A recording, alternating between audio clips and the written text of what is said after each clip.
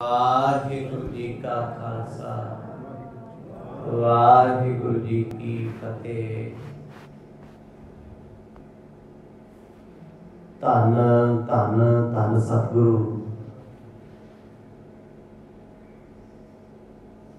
ਸ੍ਰੀ ਗੁਰੂ ਗ੍ਰੰਥ ਸਾਹਿਬ ਸੱਚੇ ਪਾਤਸ਼ਾਹ ਜੀ ਦੀ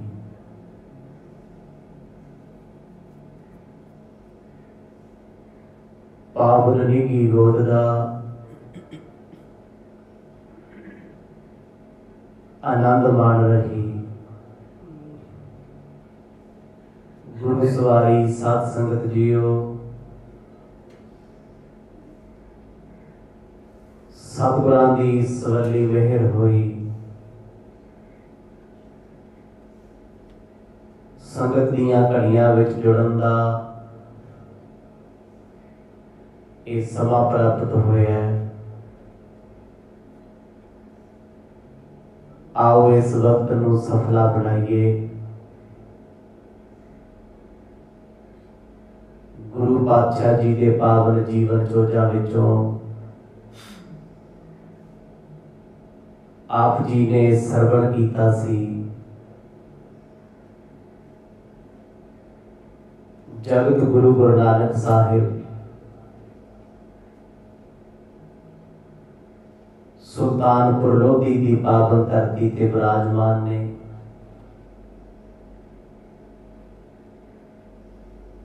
ਕੁਝ ਦਿਨਾਂ ਬਾਅਦ ਸਤਿਗੁਰ ਸੱਚੇ ਪਾਤਸ਼ਾਹ ਜੀ ਭੈਣ ਜੀ ਅਤੇ ਭਾਈਆ ਜੀ ਦੇ ਪਾਸ ਆ ਕੇ ਬੈਠੇ ਨੇ।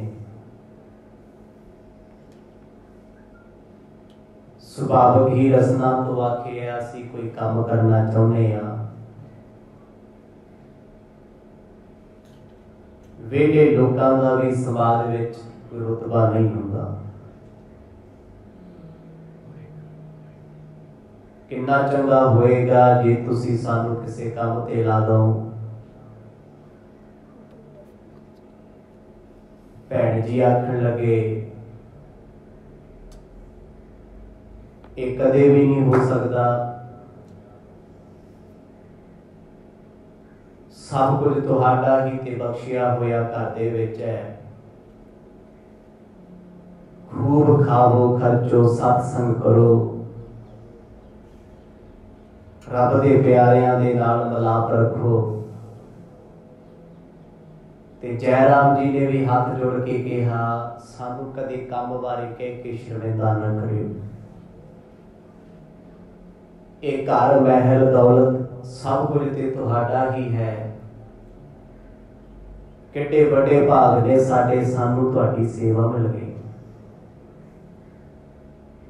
ਪਰ ਗੁਰੂ ਨਾਨਕ ਸਾਹਿਬ ਮਹਾਰਾਜ ਜੀ ਨੇ ਵੇਦਾਂ, ਕਤੇਬਾਂ, ਧਾਰਮਿਕ ਗ੍ਰੰਥਾਂ ਦਾ ਹਵਾਲਾ ਦੇ ਕੇ ਆਖਿਆ, ਅਸੀਂ ਖੁਦ ਕੰਮ ਕਰਕੇ ਦਾਨ ਪੁੰਨ ਕਰਨਾ ਚਾਹੁੰਦੇ ਹਾਂ।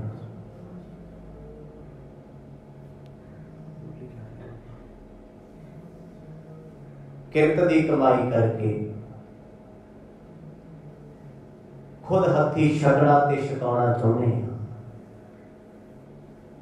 ਜੈਰਾਮ ਜੀ ਨੇ ਜਦੋਂ ਇਹਨਾਂ ਬਚਨਾਂ ਨੂੰ ਇਸ ਸੰਦਰਭ ਵਿੱਚ ਸੁਣਿਆ ਤੇ ਬੜੇ ਪ੍ਰਭਾਵਿਤ ਹੋਏ। ਇਤੋਂ ਤੱਕ ਆਪ ਜੀ ਨੇ ਚੱਲ ਰਹੀ ਪਾਵਨ ਕਥਾ ਦਾ ਆਨੰਦ ਮਾਣਿਆ। ਆਓ ਕੁਝ ਸਮਾਂ ਮਨਚਿਤ ਵਿਅਕਤੀਆਂ ਨੂੰ ਇਕਾਗਰ ਚਿਤ ਬਣਾਈਏ।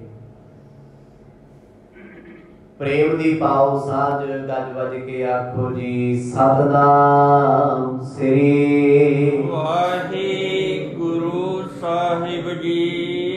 ਸਤਨਾਮ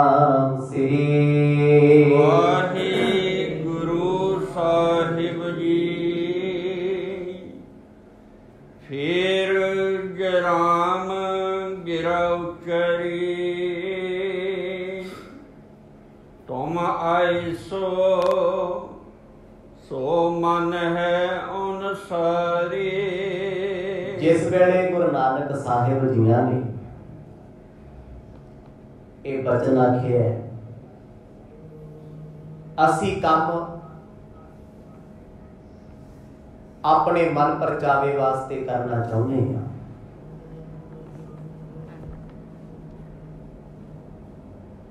ਤੇ ਜੇ ਤੁਸੀਂ ਸਾਨੂੰ ਕਿਸੇ ਕੰਮ ਕਾਜ ਤੇ ਲਵਾ ਦਿਓ। ਜੋ ਵੀ ਮਾਇਆ ਸਾਡੇ ਪਾਸ ਆਏਗੀ, ਦਾਨ ਪੁੰਨ ਕਰਾਂਗੇ, ਸੇਵਾ ਕਰਾਂਗੇ, ਛਕਾਂਗੇ ਤੇ ਲੋੜਵੰਦਾਂ ਨੂੰ ਛਕਾਂਗੇ ਜਦੋਂ ਜੈ ਰਾਮ ਜੀ ਨੇ ਇਹ ਸਭ ਕੁਝ ਸੁਣਿਆ ਉਹਨਾਂ ਗੁਰੂ ਨਾਨਕ ਸਾਹਿਬ ਜੀ ਦੀ ਇਸ ਗਹਿਰੀ ਭਾਵਨਾ ਨੂੰ ਸਮਝਿਆ। ਭਾਵਨਾ ਵੱਡੀ ਹੈ। ਵਿਚਾਰਧਾਰਾ ਵੱਡੀ ਹੈ। ਇਸ ਕਰਕੇ ਉਹ ਇਨਕਾਰ ਕਰ ਨਾ ਸਕੇ। ਮੋਰ ਸਕੋ ਨਾ ਕਹਿਓ ਤੁਮਰੋ। ਜਿਨ ਕੀ ਨੁਤ ਰਾਏ ਬੁਲਾਰੂ ਚਾਰੇ। ਜਿਸ ਵੇਲੇ ਸਤਿਗੁਰਾਂ ਨੇ ਆਪਣੇ ਦਿਲ ਦੀ ਗੱਲ ਕਹਿ ਦਿੱਤੀ ਤੇ ਜੈਰਾਮ ਦੀ ਆਖਣ ਲੱਗੇ ਹੱਥ ਜੋੜ ਕੇ ਕਹਿੰਦੇ ਪਾਤਸ਼ਾਹ ਜੇ ਤੁਹਾਡੇ ਦਿਲ ਦੇ ਵਿੱਚ ਇਹ ਫੁਰਨਾ ਹੈ, ਤੇ ਮੈਂ ਕਦਾਚਿਤ ਵੀ ਤੁਹਾਡਾ ਬਚਨ ਨਹੀਂ ਮੋੜ ਸਕਦਾ। ਜਿੱਥੇ ਰਾਏ ਬੁਲਾਰ ਵਰਗੇ ਵੱਡੇ ਵੱਡੇ ਰਾਜੇ ਤੁਹਾਡੀ ਮਹਿਮਾ ਕਰਦੇ ਨੇ ਸਿਫਤ ਸਲਾਹਤਾ ਕਰਦੇ ਆ, ਜਿਨ੍ਹਾਂ ਨੇ ਇੱਥੋਂ ਤੱਕ ਕਹਿ ਦਿੱਤਾ ਸੀ ਕਿਸੇ ਵਸਤੂ ਦੀ ਲੋੜ ਹੋਵੇ ਮੇਰੇ ਘਰ ਦੇ ਖਜ਼ਾਨੇ ਸਦਾ ਹੀ ਖੁੱਲੇ ਤੇ ਗਰੀਬ ਨਵਾਜ਼ ਅਸੀਂ ਤੁਹਾਡਾ ਬਚਨ ਕਿਵੇਂ ਮੋੜ ਸਕਦੇ ਹਾਂ? ਜੇ ਤੁਸੀਂ ਸੱਚਮੁੱਚ ਹੀ ਕੰਮ ਕਰਨਾ ਚਾਹੁੰਦੇ ਹੋ, ਤੇ ਮੈਂ ਤੁਹਾਡੀ ਆਗਿਆ ਦਾ ਪਾਲਣ ਕਰਾਂ। ਇੱਕ ਤੇ ਜੈ ਰਾਮ ਭਾਵਨਾ ਕਰਕੇ ਗੁਰੂ ਨਾਨਕ ਸਾਹਿਬ ਨੂੰ ਸਮਝਦੇ ਆ, ਤੇ ਦੂਜਾ ਰਾਏ ਬੁਲਾਰ ਜੀ ਨੇ ਇਹਨਾਂ ਨੂੰ ਕੋਲ ਬਿਠਾ ਕੇ ਦੱਸਿਆ ਸੀ ਰੱਬ ਪਰਮੇਸ਼ਰ ਨੇ, ਪਰ ਆਪਾਂ ਨਹੀਂ ਜਤਾਉਂਦੇ ਇਹ ਛੁਪਾ ਕੇ ਰੱਖਦੇ ਨੇ ਆਪਣਾ ਆਪ, ਜਿਹੜਾ ਵੀ ਬਚਨ ਕਹਿਣ ਤੁਸੀਂ ਅੱਖਾਂ ਬੰਦ ਕਰਕੇ ਮੰਨਣਾ ਸੇਵਕ ਬਣ ਕੇ। ਜਦੋਂ ਉਹ ਖਿਆਲ ਜੈਰਾਮ ਜੀ ਨੂੰ ਆ ਗਿਆ ਵੀ ਰਾਏ ਬੁਲਾਰ ਜੀ ਨੇ ਕਿਹਾ ਸੀ ਇਹਨਾਂ ਦੀ ਗੱਲ ਨਾ ਕੱਟਿਓ ਨਾ ਵੱਡਿਓ ਨਾ ਮੋੜਿਓ ਤੇ ਕਹਿੰਦੇ ਜੀ ਸਾਥ ਬਚਨ ਕਿਰਪਾ ਕਰਕੇ ਦੱਸੋ ਆਪ ਕਿਹੜਾ ਕੰਮ ਕਰਨਾ ਚਾਹੁੰਦੇ ਕਿਉਂਕਿ ਕੰਮ ਵੀ ਉਹ ਹੈ ਜੋ ਤੁਸੀਂ ਈਜ਼ੀ ਕਰ ਸਕੋ। ਕੰਮ ਤੇ ਦੁਨੀਆ ਦੇ ਸਾਰੇ ਹੀ ਨੇ ਕਰਦੇ ਤੇ ਬੰਦੇ ਹੀ ਨੇ। ਦੁਨੀਆ ਦਾ ਉਹ ਕਿਹੜਾ ਫੀਲਡ ਹੈ, ਉਹ ਕਿਹੜਾ ਕੰਮ ਹੈ ਜੋ ਇਨਸਾਨ ਨਹੀਂ ਕਰਦਾ। ਪਰ ਇਹ ਆਪਣਾ ਆਪਣਾ ਪਰਚਾਵਾ ਹੈ, ਕਿਸੇ ਨੂੰ ਕੋਈ ਕੰਮ ਪਸੰਦ ਹੈ, ਕਿਸੇ ਨੂੰ ਕੋਈ ਪਸੰਦ ਰਾਏ ਬੁਲਾਰ ਜੀ ਨੇ ਆਖਿਆ ਸੀ, ਜੇ ਇਹ ਕੰਮ ਕਰਨਾ ਚਾਹਣ ਤੇ ਕੰਮ ਤੇ ਲਾ ਦਿਓ। ਜੇ ਇਹ ਵਿਹਲੇ ਰਹਿ ਕੇ ਸਾਧੂਆਂ ਦੀ ਸੰਗਤ ਕਰਨੀ ਚਾਹੁੰਦੇ ਨੇ ਤੇ ਕਦੇ ਮਨਾ ਵੀ ਨਾ ਕਰਿਓ। ਜੈਰਾਮ ਜੀ ਨੇ ਇਸੇ ਕਰਕੇ ਆਖਿਆ, ਪਾਤਸ਼ਾਹ, ਸੰਤ ਜੀ, ਜੋ ਤੁਹਾਡੀ ਮੌਜ ਹੈ, ਤੁਸੀਂ ਕਰ ਸਕਦੇ ਹੋ। ਲਿਖਾ ਬੜੀ ਤੋ ਕਹੋ ਮੁਝ ਸੋ ਕੁਛ। ਲੈ ਦਿਉ ਜੋ ਹੋਏ, ਲਿਖੇ ਕੀ ਕਾਰੇ। ਥੋੜੀ ਦੇਰ ਬਾਅਦ ਚੁੱਪ ਕਰਕੇ ਸੋਚਣ ਤੋਂ ਬਾਅਦ ਜੈਰਾਮ ਜੀ ਆਖਣ ਲੱਗੇ, ਸੰਤ ਜੀ, ਕਿ ਤੁਸੀਂ ਲੇਖੇ ਜੋਖੇ ਬਾਰੇ ਮਾੜਾ ਮੋਟਾ ਜਾਣਦੇ ਹੋ? ਹਿਸਾਬ ਕਿਤਾਬ ਜਿਵੇਂ ਅੱਜ ਦੇ ਸਮੇਂ ਲੋਕ ਸੀਏ ਕਰ ਲੈਂਦੇ ਪੁਰਾਣੇ ਸਮੇਂ ਦੇ ਵਿੱਚ ਮਨੀਮੀਆਂ ਕਰਦੇ ਸੀ। ਹਿਸਾਬ ਕਿਤਾਬ ਕਰਨਾ ਲੋਕਾਂ ਨੇ ਮੁਰਸ਼ੀਆਂ ਦੇ ਕੰਮ ਹੁੰਦੇ ਸੀ। ਗੁਰੂ ਸਾਹਿਬ ਨੂੰ ਪੁੱਛਦੇ ਨੇ ਜੇ ਮਾੜਾ ਮੋਟਾ ਤੁਸੀਂ ਹਿਸਾਬ ਕਿਤਾਬ ਦੀ ਵਿਦਿਆ ਨੂੰ ਜਾਣਦੇ ਹੋ? ਤੇ ਮੈਨੂੰ ਦੱਸ ਦਿਓ। ਮੈਂ ਇੱਥੋਂ ਦੇ ਨਵਾਬ ਦੇ ਕੋਲ ਤੁਹਾਨੂੰ ਨੌਕਰੀ ਦਵਾ ਸਕਦਾ। ਕਿਉਂਕਿ ਤੁਸੀਂ ਕਰਨੀ ਚਾਹੁੰਦੇ ਤੇ ਜੇ ਤੁਹਾਨੂੰ ਇਹ ਕਿਰਤ ਕਰਨੀ ਆਉਂਦੀ ਆ, ਮਾੜਾ ਮੋਟਾ ਲੇਖਾ ਜੋਖਾ ਆਉਂਦਾ ਮੈਥਮੈਟਿਕਸ ਹਿਸਾਬ ਕਿਤਾਬ ਦਾ ਪਤਾ ਹੈ, ਜੋੜ ਕੀ ਹੈ, ਘਟਾਓ ਕੀ ਹੈ, ਭਾਗ ਡਿਵਾਈਡ ਕੀ ਹੈ। ਕਿਉਂਕਿ ਇਹੀ ਚੀਜ਼ਾਂ ਨੇ, ਉੱਥੇ ਕਾਪੀਆਂ ਤੇ ਕੈਲਕੂਲੇਟਰ ਤੇ ਚੱਲਦੇ ਹੀ ਨਹੀਂ ਸੀ। ਅੱਜ ਵੀ ਪੁਰਾਣੇ ਬਜ਼ੁਰਗਾਂ ਕੋਲ ਬਹਿ ਕੇ ਪੁੱਛ ਲਓ, ਕੋਈ ਗੱਲ ਤੁਸੀਂ ਬੋਲੀ ਜਾਓ, ਉਂਗਲਾਂ ਤੇ ਦੱਸੀ ਜਾਂਦੇ ਇਹਨਾਂ ਇਹਨਾਂ ਤੇ ਮੇਰੇ ਵਰਗੇ ਨੂੰ ਕੋਈ ਪੁੱਛੇ, ਮਾੜਾ ਦਾ ਹਿਸਾਬ ਖੜਦਾ ਯਾਰ ਕੈਲਕੂਲੇਟਰ ਕੱਢ ਲਾ। ਕਿੰਨਾ ਫ਼ਰਕ ਹੈ? ਬੇਸ਼ੱਕ ਪੁਰਾਣੇ ਲੋਕ ਅਨਪੜ੍ਹ ਸੀ ਪਰ ਹਿਸਾਬ ਕਿਤਾਬ ਦੇ ਵਿੱਚ ਗਹਿਰੇ ਬਹੁਤ ਸਨ। ਹਰ ਘਰ ਦਾ ਆਮ ਜਿਹਾ ਬੱਚਾ ਵੀ ਹਿਸਾਬ ਕਿਤਾਬ ਦੀ ਕੈਲਕੂਲੇਸ਼ਨ ਰੱਖਦਾ ਸੀ। ਅੱਜ ਤੇ ਕਿਤੇ 100 ਨੋਟ ਸਾਡੇ ਕੋਲ ਹੁਣ ਭਾਵੇਂ 500 ਦੇ ਜਾਂ 10 ਦੇ ਜਾਂ 100 ਦੇ 10 ਵਾਰ ਗਿਣ ਕੇ ਵੀ ਆਪਣੇ ਤੇ ਭਰੋਸਾ ਨਹੀਂ ਹੁੰਦਾ ਵੀ ਪੂਰੇ ਆ ਘੱਟ ਨੇ ਆਖੋ ਜਾਓ ਕਿਤੇ ਵੀ ਦੇਖ ਲਓ। ਪੈਸੇ ਲੈਣ ਵੇਲੇ ਵੀ ਗਿਣਦੇ ਨੇ ਤੇ ਦੇਣ ਵੇਲੇ ਵੀ। ਕਿਉਂਕਿ ਖੁਦ ਤੇ ਯਕੀਨ ਨਹੀਂ ਹੈ। ਤੇ ਪੁਰਾਣੇ ਲੋਕ ਪੈਸਿਆਂ ਦੀ ਗੱਥੀ ਠੱਗੀ ਵੇਖ ਕੇ ਦੱਸ ਦਿੰਦੇ ਸੀ, ਇੰਨੇ ਹੀ ਨੇ। ਉਹ ਨਹੀਂ ਕਰਦੇ ਸੀ। ਮਤਲਬ ਉਹਨਾਂ ਸਮਿਆਂ ਵਿੱਚ ਲੋਕਾਂ ਦਾ ਹਿਸਾਬ ਬੜਾ ਗਹਿਰਾ ਸੀ। ਇਸੇ ਕਰਕੇ ਪੁੱਛਦੇ ਆ, ਕਿਉਂਕਿ ਗੁਰੂ ਸਾਹਿਬ ਕਿਸੇ ਸਕੂਲ, ਕਾਲਜ ਨਹੀਂ ਪੜ੍ਹੇ ਉਹਨਾਂ ਸਮੇਂ ਕਿਸੇ ਮਦਰਸੇ ਵਿੱਚ ਨਹੀਂ ਪੜ੍ਹੇ। ਇੱਕ ਦੋ ਦਿਨ ਦਾ ਪੜ੍ਹਨਾ, ਕੀ ਪੜ੍ਹਨਾ ਹੁੰਦਾ ਜੀ? ਇੱਕ ਦੋ ਦਿਨ ਗੋਪਾਲ ਪਾਦੇ ਕੋਲ ਗਏ ਆ, ਦੋ ਕੁ ਦਿਨ ਕਾਜੀ ਕੁਤਬਦੀਨ ਕੋਲ ਗਏ ਹੋਣੇ। ਇੱਕ ਅੱਧਾ ਦਿਨ ਗੁਰੂ ਸਾਹਿਬ ਮੁੱਲਾ ਕੋਲ ਤੇ ਇਹ ਪੜ੍ਹਾਈ ਕਾਦੀ ਹੈ ਜੇ? ਵੇਖਿਆ ਜਾਵੇ ਸੰਸਾਰੀ ਤੌਰ ਤੇ ਕੁਝ ਵੀ ਨਹੀਂ। ਪਰ ਜੈਰਾਮ ਜੀ ਪੁੱਛਦੇ, ਜੇ ਹਿਸਾਬ ਕਿਤਾਬ ਤੁਹਾਨੂੰ ਪਸੰਦ ਹੈ, ਤੁਸੀਂ ਕਰਨਾ ਚਾਹੁੰਦੇ ਹੋ? ਉਹ ਕਿਉਂ ਪੁੱਛਦੇ ਆ ਜੀ? ਪਤਾ ਤੁਹਾਨੂੰ? ਜਦੋਂ ਪਟਵਾਰਖਾਨੇ ਵਿੱਚ ਕੋਈ ਲੱਗਦਾ ਨਾ, ਉੱਥੇ ਇਹੀ ਚੀਜ਼ਾਂ ਹੁੰਦੀਆਂ, ਕਿੰਨਾ ਖੇਤਰਫਲ ਹੈ, ਜੋੜ ਘਟਾਓ ਕਿੰਨਾ ਹੈ, ਕਿੱਧਰ ਨੂੰ ਕਿੰਨੀਆਂ ਕਨਾਲਾਂ ਨੇ, ਕੀ ਕੀ ਕੁਛ ਹੈ। ਫਰਦਾਂ ਦੀ ਗਿਣਤੀ ਇਦਾਂ ਹੀ ਹੁੰਦੀ ਹੈ। ਤੇ ਜਿਹਨੂੰ ਪੜ੍ਹਨ ਨਹੀਂ ਆਉਂਦੀ ਹੈ ਫਰ ਤੋਂ 1 ਮਿੰਟ ਲਾਉਂਦਾ, ਜਿਹਨੂੰ ਨਹੀਂ ਆਉਂਦੀ, ਫੁੱਟ ਸਿੱਧੀ ਕਰੀ ਜਾਂਦਾ, ਵੀ ਇੱਧਰ ਨੂੰ ਘਾਟਾ ਇੱਧਰ ਨੂੰ ਵਾਧਾ ਕਿਹਦਾ ਕਰਕੇ ਇੱਧਰ? ਖੇਤਰਫਲ ਹਿਸਾਬ ਕਿਤਾਬ, ਉਹਦੇ ਵਿੱਚ ਵੀ ਹੁੰਦਾ ਘਟਾਉਣਾ ਕੀ ਹੈ, ਵਧਾਉਣਾ ਕੀ ਹੈ? ਇਹ ਉਸ ਭਾਸ਼ਾ ਨੂੰ ਪੁਰਾਣੇ ਸਮੇਂ ਵਿੱਚ ਕਹਿੰਦੇ ਸੀ ਲੰਡੇ, ਜਿਹੜੀ ਪੁਰਾਣੀ ਪਾਕਿਸਤਾਨ ਦੀ ਭਾਸ਼ਾ ਸੀ ਨਾ ਉਹ ਉਰਦੂ ਦੇ ਨਾਲ ਮੈਚ ਕਰਦੀ ਸੀ, ਲੰਡੇ ਦੀ ਭਾਸ਼ਾ ਜਿਹਦੇ ਵਿੱਚ ਹਿਸਾਬ ਕਿਤਾਬ ਹੁੰਦਾ ਸੀ। ਅੱਜ ਵੀ ਮਨੀਮਾ ਦੀਆਂ ਕਦੇ ਵਈਆਂ ਖਾਤੇ ਖੋਲ ਕੇ ਵੇਖਿਓ, ਤੁਹਾਨੂੰ ਮਿਲ ਜਾਣਗੀਆਂ।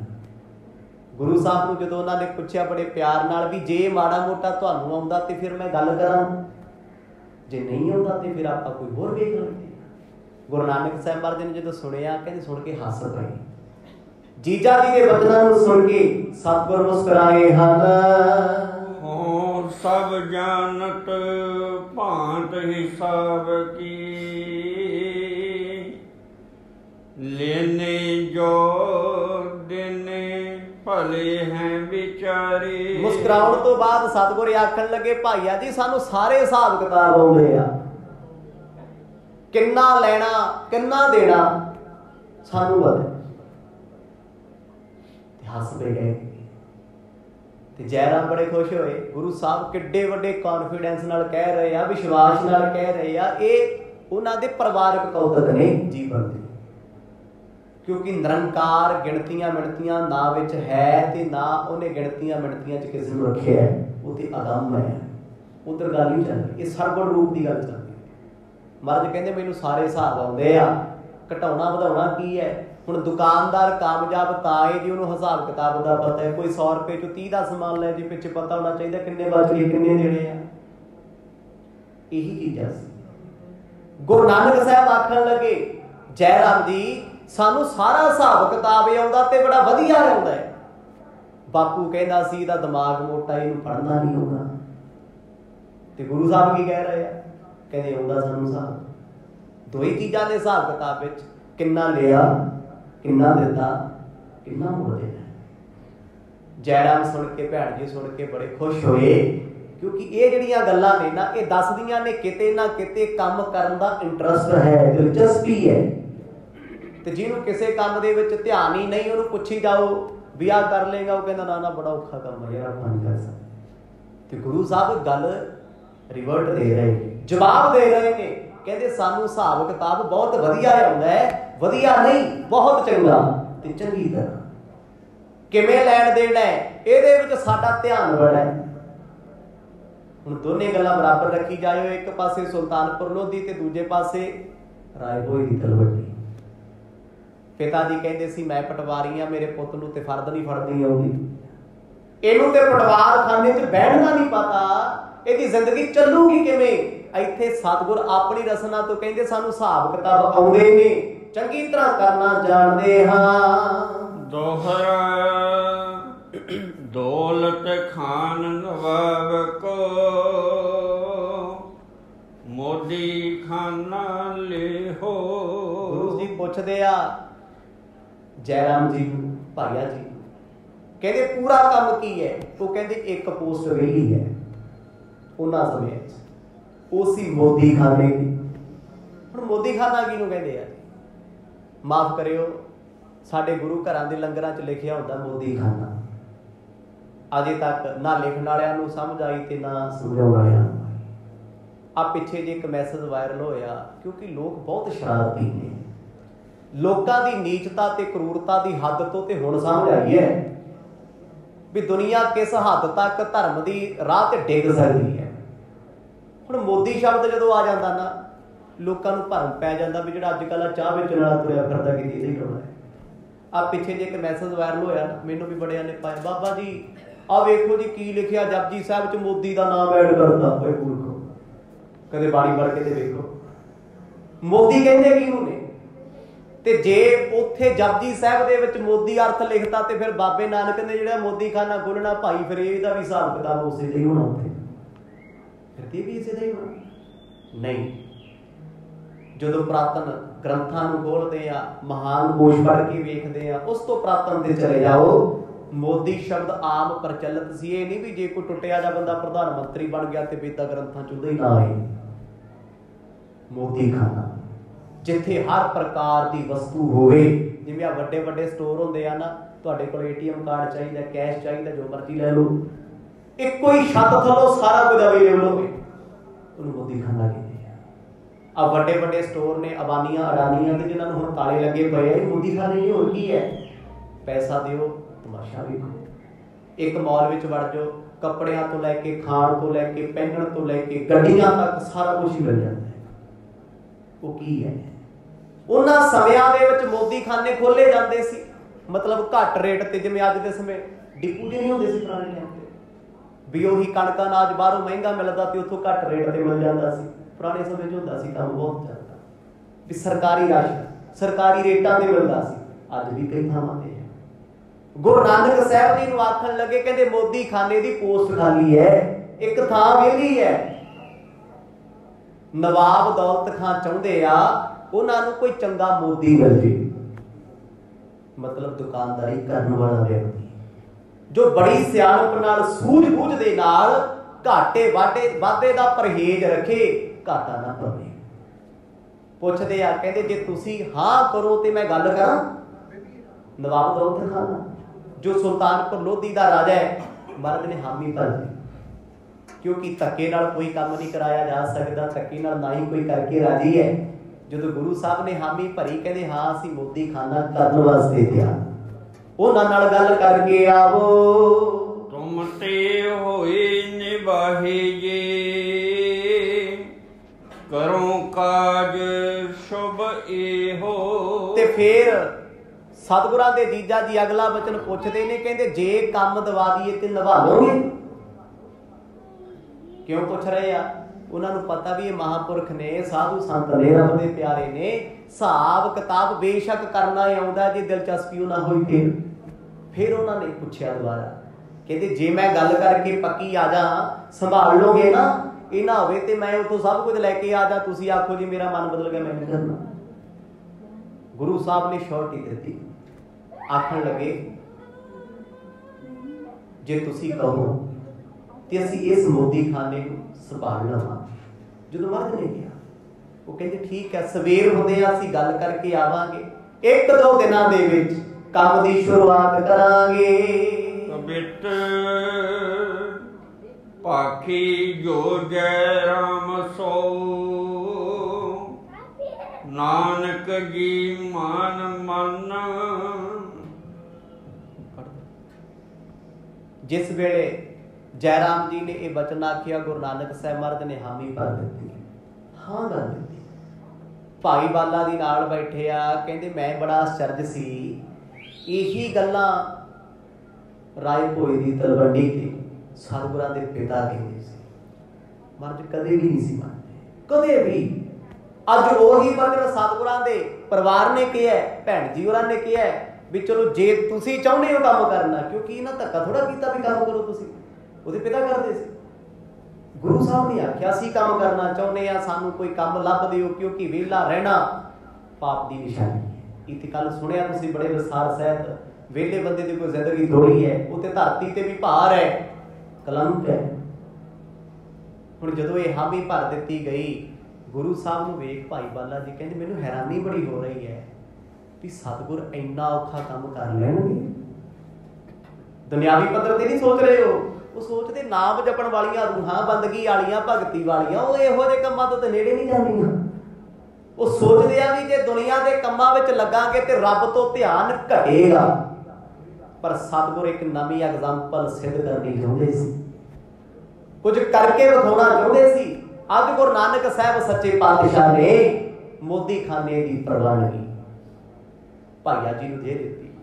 ਵੀ ਤੁਸੀਂ ਗੱਲ ਪੱਕੇ ਪੈਰੀ ਕਰਕੇ ਆਓ ਕੰਮ ਦੀ ਸ਼ੁਰੂਆਤ ਕਰਾਂਗੇ।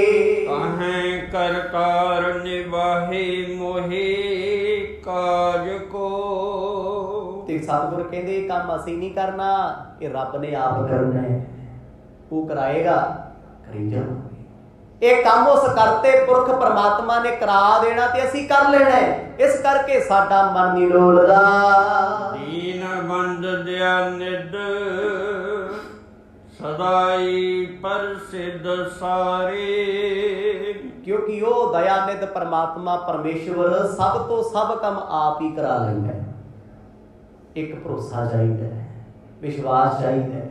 ਕਿਹੜਾ ਕੰਮ ਦੁਨੀਆ ਤੇ ਨਹੀਂ ਹੁੰਦਾ? ਜੀ ਔਖੇ ਤੋਂ ਔਖਾ ਕੰਮ ਵੀ ਅਰਦਾਸ ਕਰਕੇ ਮਾਲਕ ਗੁਰੂ ਅੱਗੇ ਚੱਲ ਪਾਉ ਸਫਲਾ ਹੋ ਜਾਂਦਾ ਸਿੱਧ ਹੋ ਜਾਂਦਾ ਹੈ। ਤੇ ਮਰਦ ਨੇ ਦੇਖੋ ਮੋਦੀ ਖਾਨੇ ਦੀ ਕਾਰ ਆਰੰਭ ਕਰਨੀ ਹੈ, ਵਿੱਚ ਕਿਹਨੂੰ ਰੱਖਿਆ? ਕਰਤਾਰ ਨੂੰ, ਕਰਤੇ ਨੂੰ ਪਰਮੇਸ਼ਰ ਕਹਿੰਦੇ ਉਹਦੀ ਰਜਾ ਹੈ ਉਹਦੀ ਮੌਜ ਹੈ ਉਹਨੇ ਆਪੇ ਹੀ ਕਰਾ ਲੈਣਾ ਏ। ਸੰਤਨ ਸਹਾਈ ਰੱਖੈ ਨਿਜ ਨਾਮ ਲਾਜ ਕੋ। ਕਹਿੰਦੇ ਜਿਹੜਾ ਸੰਤਾਂ ਦਾ ਆਪ ਸਹਾਈ ਹੈ ਸਾਡੇ ਨਾਮ ਦੀ ਲਾਜ ਵੀ ਤੇ ਫਿਰ ਆਪੇ ਹੀ ਰੱਖੂਗਾ ਖੁਦ ਨਾਮ ਜਿਹੜਾ ਉਹਦਾ ਨਾਮ ਜਪਦਾ ਜੀ ਕੀ ਉਹ ਨਾਮ ਦੀ ਲਾਜ ਨਹੀਂ ਰੱਖਦਾ?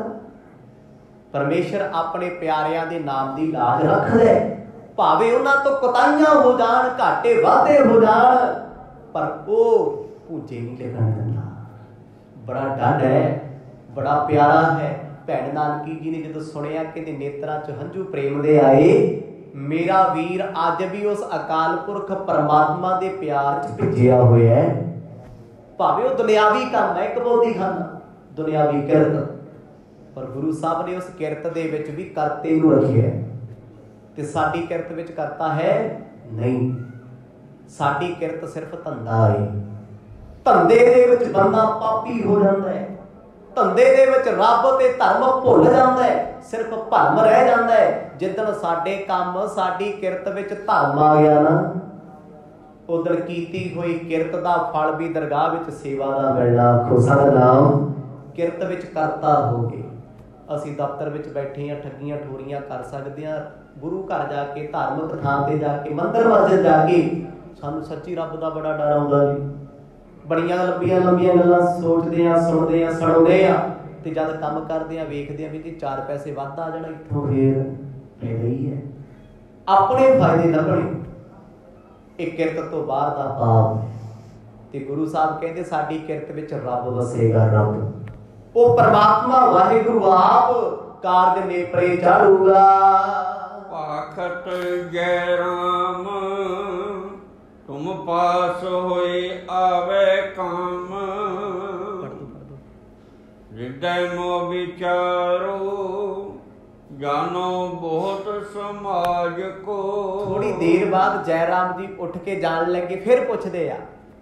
ਕਹਿੰਦੇ ਸੰਤ ਜੀ ਵੈਸੇ ਕੰਮ ਔਖਾ ਬੜਾ। ਹੈ ਫਿਰ ਆਪਣੇ ਮਨ ਨੂੰ ਪੁੱਛ ਲਓ ਵੀ ਨਿਭਾ ਪਾਉਂਗੇ।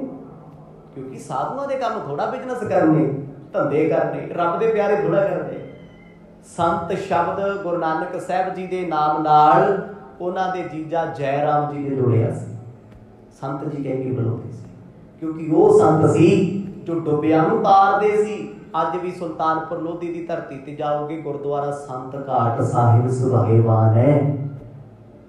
ਕਹਿੰਦੇ ਸੰਤ ਜੀ, ਸੋਚ ਲਓ, ਇਹ ਕੰਮ ਚ ਲੋਕਾਂ ਚੰਗਾ ਮਾੜਾ ਵੀ ਕਹਿਣਾ ਵਾਦੇ ਘਾਟੇ ਵੀ ਹੋਣਗੇ, ਹਿਸਾਬ ਕਿਤਾਬ ਵੀ ਹੋਣਗੇ, ਕਿਉਂਕਿ ਜਿਹੜਾ ਮੋਦੀ ਹੈ, ਉਹ ਮਾਲਕ ਥੋੜੀ ਹੈ।